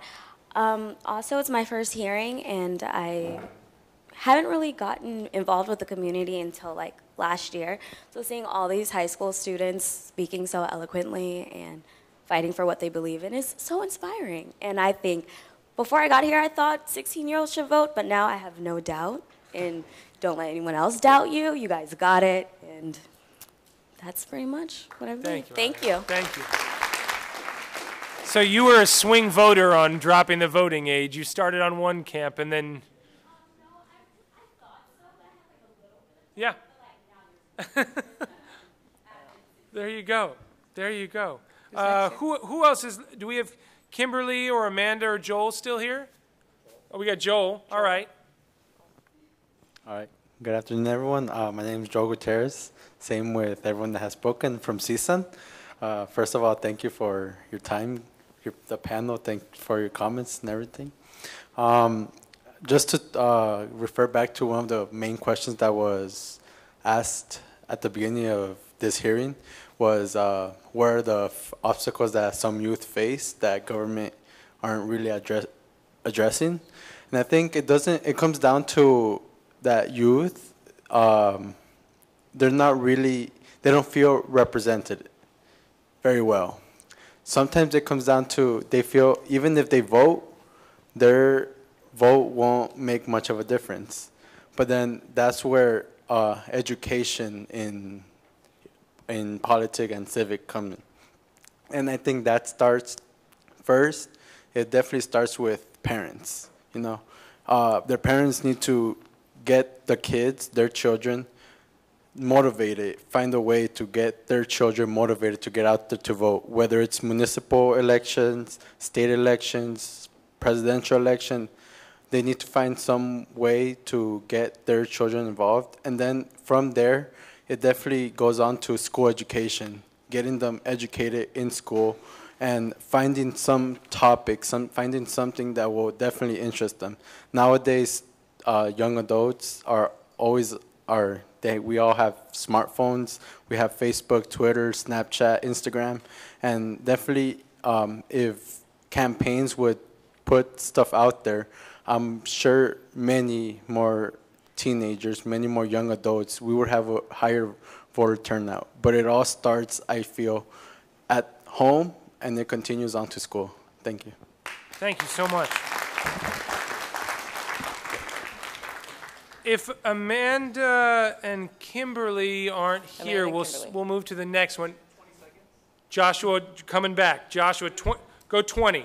And then we're going, next up is Judy Alter uh, with Protect California Ballots, and Emily Helfand is the, is the final one signed up here, and then we're going to we're gonna wrap up public comment. Okay, If everybody that um, has their phone out could just go to Instagram and search at Students for Science. This is just an organization that I started on campus. It is a response to the recent gag orders that have been placed on the EPA and some of our other institutes of science that are being um, completely shut off from communicating information with the public. Um, there is a march coming up on Earth Day called the March for Science. If you haven't heard of it, I implore you to please look it up. If you have any questions about it, you can um, direct message me through uh, our Instagram page at Students for Science. I can give you all the information on the march. If you want to come be a volunteer for the march or you want to be a volunteer with our organization through the march, we're going to have a student presence there from CSUN, and we're hoping to um, engage as many different organizations as possible and bring them all together. That's the whole point of Students for Science. That's the whole point is why I started it. You see so many like individual groups of people, of youth starting these organizations. And what we're trying to do is just bring you all together. So please, if you can follow us on Instagram uh, at Students for Science and then also follow the march uh, at March for Science, it'll be incredibly Thanks, helpful. Joshua. And thank you very much. Yeah, yeah. And you're welcome to put that, all of you are welcome to comment afterwards on the Facebook page if you have groups that you're involved with. Cool to be kind, any on campus groups, please weigh in. We want to make that a forum for you guys to follow up. Um, Ms. Alter. Hi, thank you very much for this. I, I'm, I'm a, I direct Protect California Ballots. I'm a retired UCLA professor, and I, my first MA was in teaching social studies and civics. And so this is a fabulous squared. This is absolutely wonderful. I have one, I'm a teacher, so one important screaming fact. Andrew talked about voting online for the popular, for the queen, the, there are no ballots on online voting. So we don't have an election. We have no ballots. There's no way to count it. You don't know whether it's hacked. There's, the hacking is horrible. An online election is impossible because there are no ballots. Please, with all the digital communication and the importance of this communication, please remember it. And I have a little trouble with making democracy easy. Democracy is a battle. We can see it now. We have to get informed. We have to think. We have to dialogue. It's not easy to keep us free. And we also have to have ballots to count, one to 10, accurately, not online. Please. And all the hacking, ballots. Yep. Please, uh, every time it comes up, scream it. Information. No, thank you. And I think we've all seen from the. Thank you, Judy. And and there is some certainty still in paper. So while you can use an online ballot, say to vote for homecoming queen, when you're voting for president of the United States and you have potential Russian interventions into the elections, it's a whole different endeavor altogether. So thank you for expressing that concern, Judy. still have paper. We have Yep, paper is. You can count it with eyeballs. Yeah, yep. True. Okay, so thank you, Judy, for that. Uh, very important word of caution. Um, we now have uh, Emily Helfand. I th- I, is she still here? And then there's there's three UCLA students that wanted to speak somewhere just to let you know. Okay, so let's just keep it a one minute because we're already 45 minutes over the time. So one quick minute. Good to see you again, Emily. Thank you for coming out. Yeah, no problem. So I just want to say, does any of this actually resonate with you guys? Like, will you take it back to the office up in Sacramento and actually listen? Because I feel personally that a lot of times we may feel that we're being active and feel like our voices are being heard, but in reality, it's not. It's a we're talking to a wall. That's we're talking on Facebook to a wall. We don't even know it's your social media guy. And then I went to a, council, a city council meeting last week, local politics. Everyone should know who their, who their city council is. And I stayed there till 2:30 a.m. And about 50 people spoke in opposition, and nothing changed those people's minds. They still voted the same way. So how are we supposed to put all this trust in you and, and tell you what we want when in the end we don't see results what we want? Thank you for that, Emily. And I think, just very briefly, Emily's story demonstrates that this is not easy. And just because you show up and make a comment does not mean that you're going to be heard.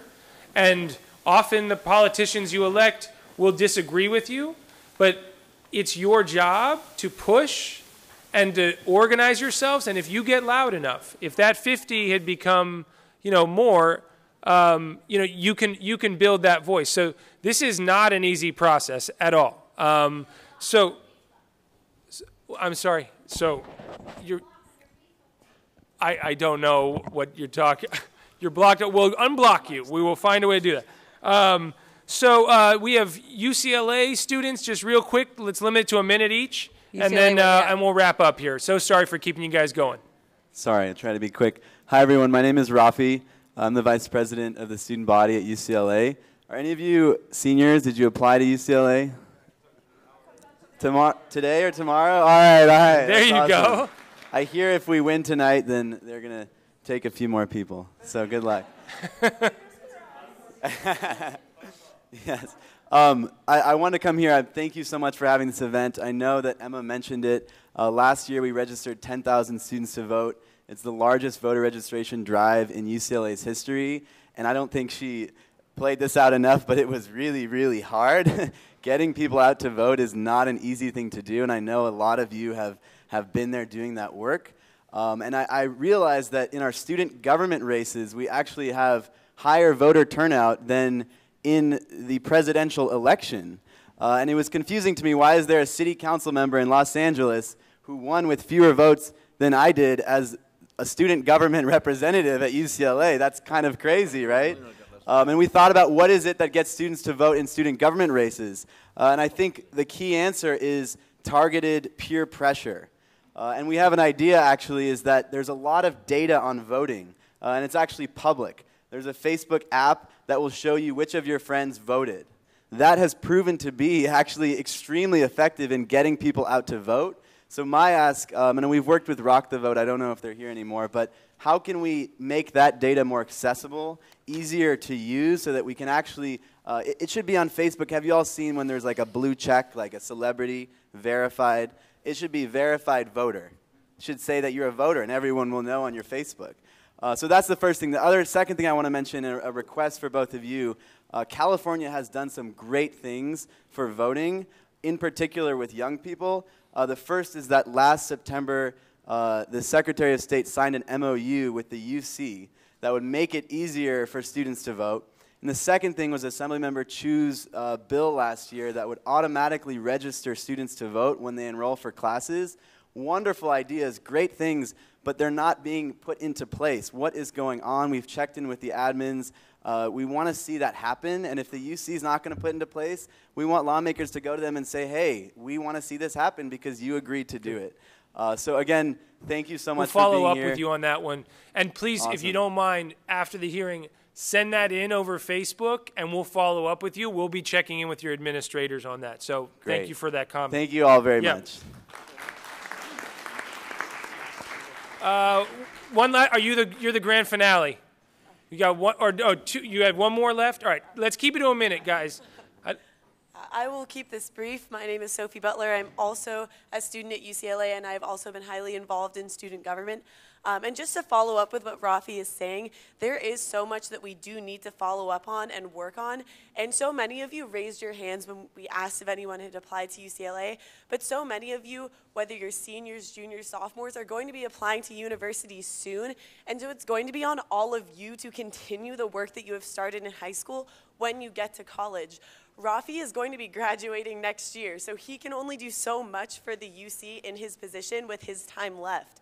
But you're going to be taking over that torch when you start university in the next few years. So make sure that you keep working hard, that you keep contacting your members of Congress, because that is what is going to make the change you want to see on your college campuses and in your high schools as well. So thank you so much, and Thank thank, you, you so much for having this today.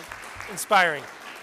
All right, you got a big burden. Final comment. Okay, uh, my name is Julio Mendez. Um, I work in the External Vice President's office at UCLA, and I just wanted to say that I think one of the biggest reasons too that um, older Americans have a higher turnout than um, younger Americans is because we were talking about this earlier. The stakes. They feel like uh, young people don't have that many stakes yet for voting. For example, there's not a lot of investments or money that they're online. They're not paying taxes. We're not we're not in, you know involved with the IRS or anything. So making those stakes like higher education, housing security, food insecurity more visible to young people, and that'll make them come out there and go to the polls. And also going off of what Sophie was saying, um, to, there's, I know there's a lot of people too who don't have the right to vote but live in California as well. And along with all the voters here who aren't even eligible yet to vote because of age, there's so many things that you can do without voting. And if you want, to, the reason that politicians pay attention to older uh, older Americans a lot more is because they make more noise. So we need to make more noise. You need to go to their, you need to go to your congressman, sit in their, sit in their district offices, you know, disturb their whatever you can to, to get to get them to, to listen to you. Write letters, go make a phone call drive, like do everything you can so that they can listen to you. Go to their Sacramento office, go to their DC office, and make them make them see you and make them hear you. Thank you. Thank you. And and you're dead right. It's not always polite, right? They don't politics. Some people will tell you, wait in line, you know, wait your turn. Sometimes you got to agitate, right? Sometimes that's part of is being a bit of a, a stick in the mud, or or you know, throwing a little sand in the gears. I want to pass it over to Senator Hertzberg for some reactions and comments, and then we'll wrap it up here. First of all, I'm listening to you, taking notes and listening to you. That's really important. Really important. Two, the listening is not just, oh, here's what somebody's particular point of view is, it's a much deeper think.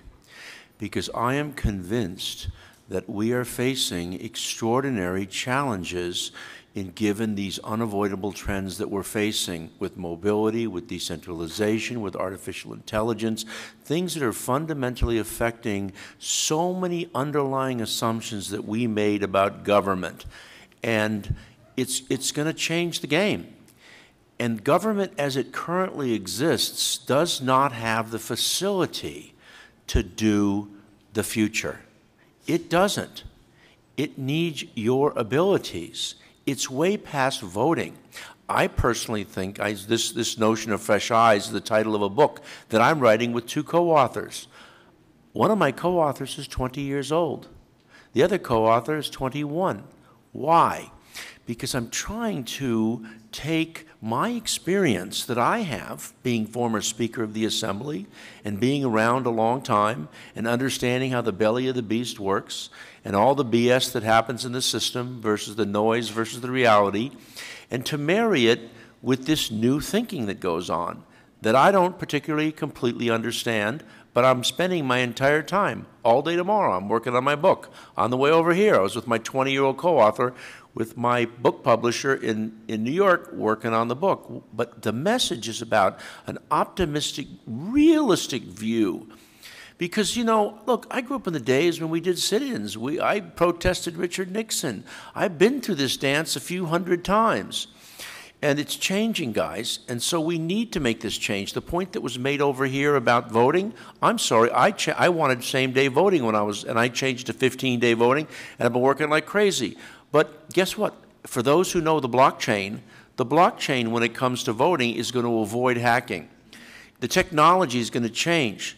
Those old kind of thinkings are going to allow people to vote wherever they are in the world, and it will be secure. There are new technologies. There are new ways of mobilities and apps. Government responds slowly and, and, and difficult, one, because it doesn't have the skill sets to change, and two, because the people that run the system own the system, and they're thinking about the status quo and they're thinking about yesterday, which isn't you guys.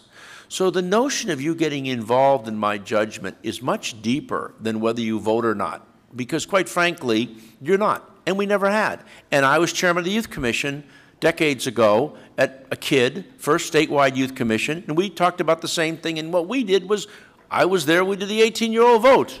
I was in that whole thing on the constitutional amendments, right? We've been through this dance. This is about the bottom line. You guys want to be effective? You want to make it work? Let's make it work. Uh, you know, I'm devoting my life to do that. And, you know, part of my thing is to take a guy like Henry, who's a brilliant guy, who's a rock star, and mentor him so he doesn't fall in the cracks of the system and get owned by the system. And to help you guys through all the interns in our offices and provide opportunities. Because most of the people that get involved, quite frankly, the truth be told, are, autom- are already people that are running for student body president and the activists and want to get engaged. S- There's not a lot of real new deliverables, although some. But what we want to do is to help them as best as we can, to be as great as you can. So the bottom line is we are interested. We are deeply thinking about this, all of us, trying to figure it out. And so, you know, I have listening. The reason I'm here at this hearing, sitting here listening to this stuff, is because I want to really think about what you guys think about and to try to help build that bridge to make it work. So I thank you very, very much. And I thank Henry for being the chairman of this committee and bringing new energy and new light and new power. Thank you, Preacher Hertzberg. Um, so, um, yeah. So, couple final reminders and points.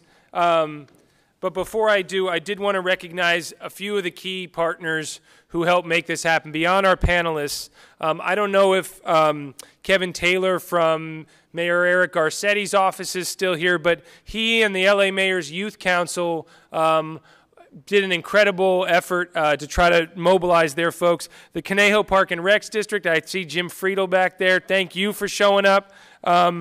Special thank you to the Reseda High Color Guard and the Junior ROTC crew. Um, doing their doing you all proud. Uh, and again, uh, Mayor Pro Tem Fred Gaines from Calabasas uh, City Council. I also failed to mention, in addition to your Principal Welsh and Assistant Principal Flores, Flores uh, Vanessa Garcia, also, who sounds like she is the woman around these parts.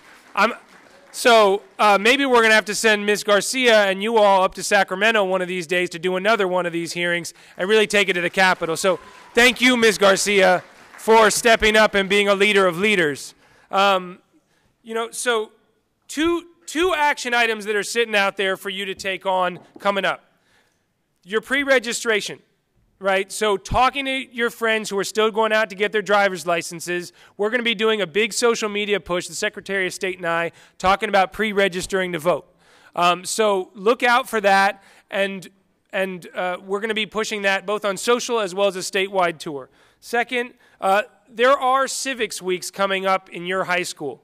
April and September are high school civic action weeks, and stay tuned because what we'd like is for you all to help us shape those weeks of action, really working within your classrooms and helping develop an action plan for your own high school. So, what I would ask of you is if you want to continue this conversation and you are interested today, maybe you didn't want to speak up and stand up on the microphone, maybe you didn't feel like an issue you wanted to have addressed wasn't heard.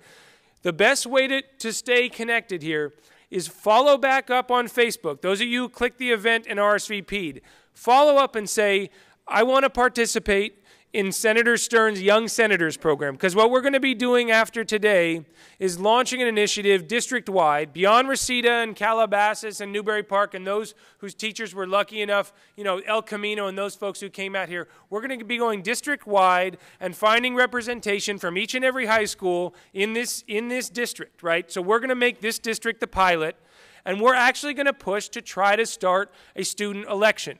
So when you go out to, to have your next homecoming vote, or when you go out to have your next ASB vote, we want to give you the opportunity also to elect the next young senator from your high school. So if you're interested in helping us organize that effort, if you're interested in running for that office, or if you want to participate in any other way, we have an internship opportunity for you as well. But the best way to do it, follow back up on Facebook and tell us what you thought of, of the event here today. You can type it out, you can send us a video, you can send a selfie, you can do a meme, you can do a Snapchat, right? Whatever it is that's on your mind, as long as you're not, I told other folks, do not turn me into a unicorn on Snapchat. I will not, I am the chair of a Senate Elections Committee, so those of you out there trying to like do the facial recognition thing on me, just please take it easy. I am a millennial in the Senate, and we have to preserve uh, the professionalism of this endeavor.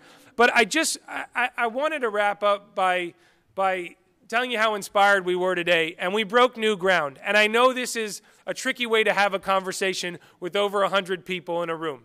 And the courage that uh, you all showed, though, to step up, take the microphone, work with some of the leading experts in this state, and make your voice heard. You are pioneers right now in changing democracy in California. So it may feel just like a normal day in Reseda on a Friday. I know it's St. Patrick's Day, I got my green. But this is not just any normal Friday. This is the beginning of something much bigger. So we're going to stay committed to this. We need your help to make this happen. CSUN, thank you. UCLA, thank you. All the high schools out here, thank you for coming out. To all our panelists, please give them a round of applause, yourselves a round of applause. And and one final thing, just I, I don't want to get too egregious, but I gotta I, I gotta take a I gotta take a quick selfie of, of all of us here. So um, those of you, if you want to stand up, uh, let's uh, we're gonna we're gonna take a quick photo here, and uh, I'm gonna be trying to tag any of you who registered on here, so we can all share within our own network. So uh, why don't everyone stand up, come to the middle if you can, and. Uh, Let's go with a let's go with a number one, because uh, we all are connected as as one group of Californians here, all united together. So everyone pile in. So let's see. Maybe Marie, you can get up there too.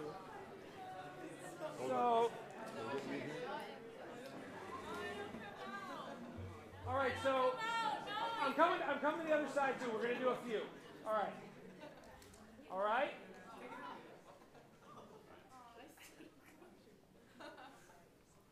I'm terrible at smiling on selfie. okay. All right, so uh, look out for yourselves on Facebook. We'll be tagging you, but post yourselves. I'll stick around for it if you guys want to take some photos and chat. So I'm here. But thank you.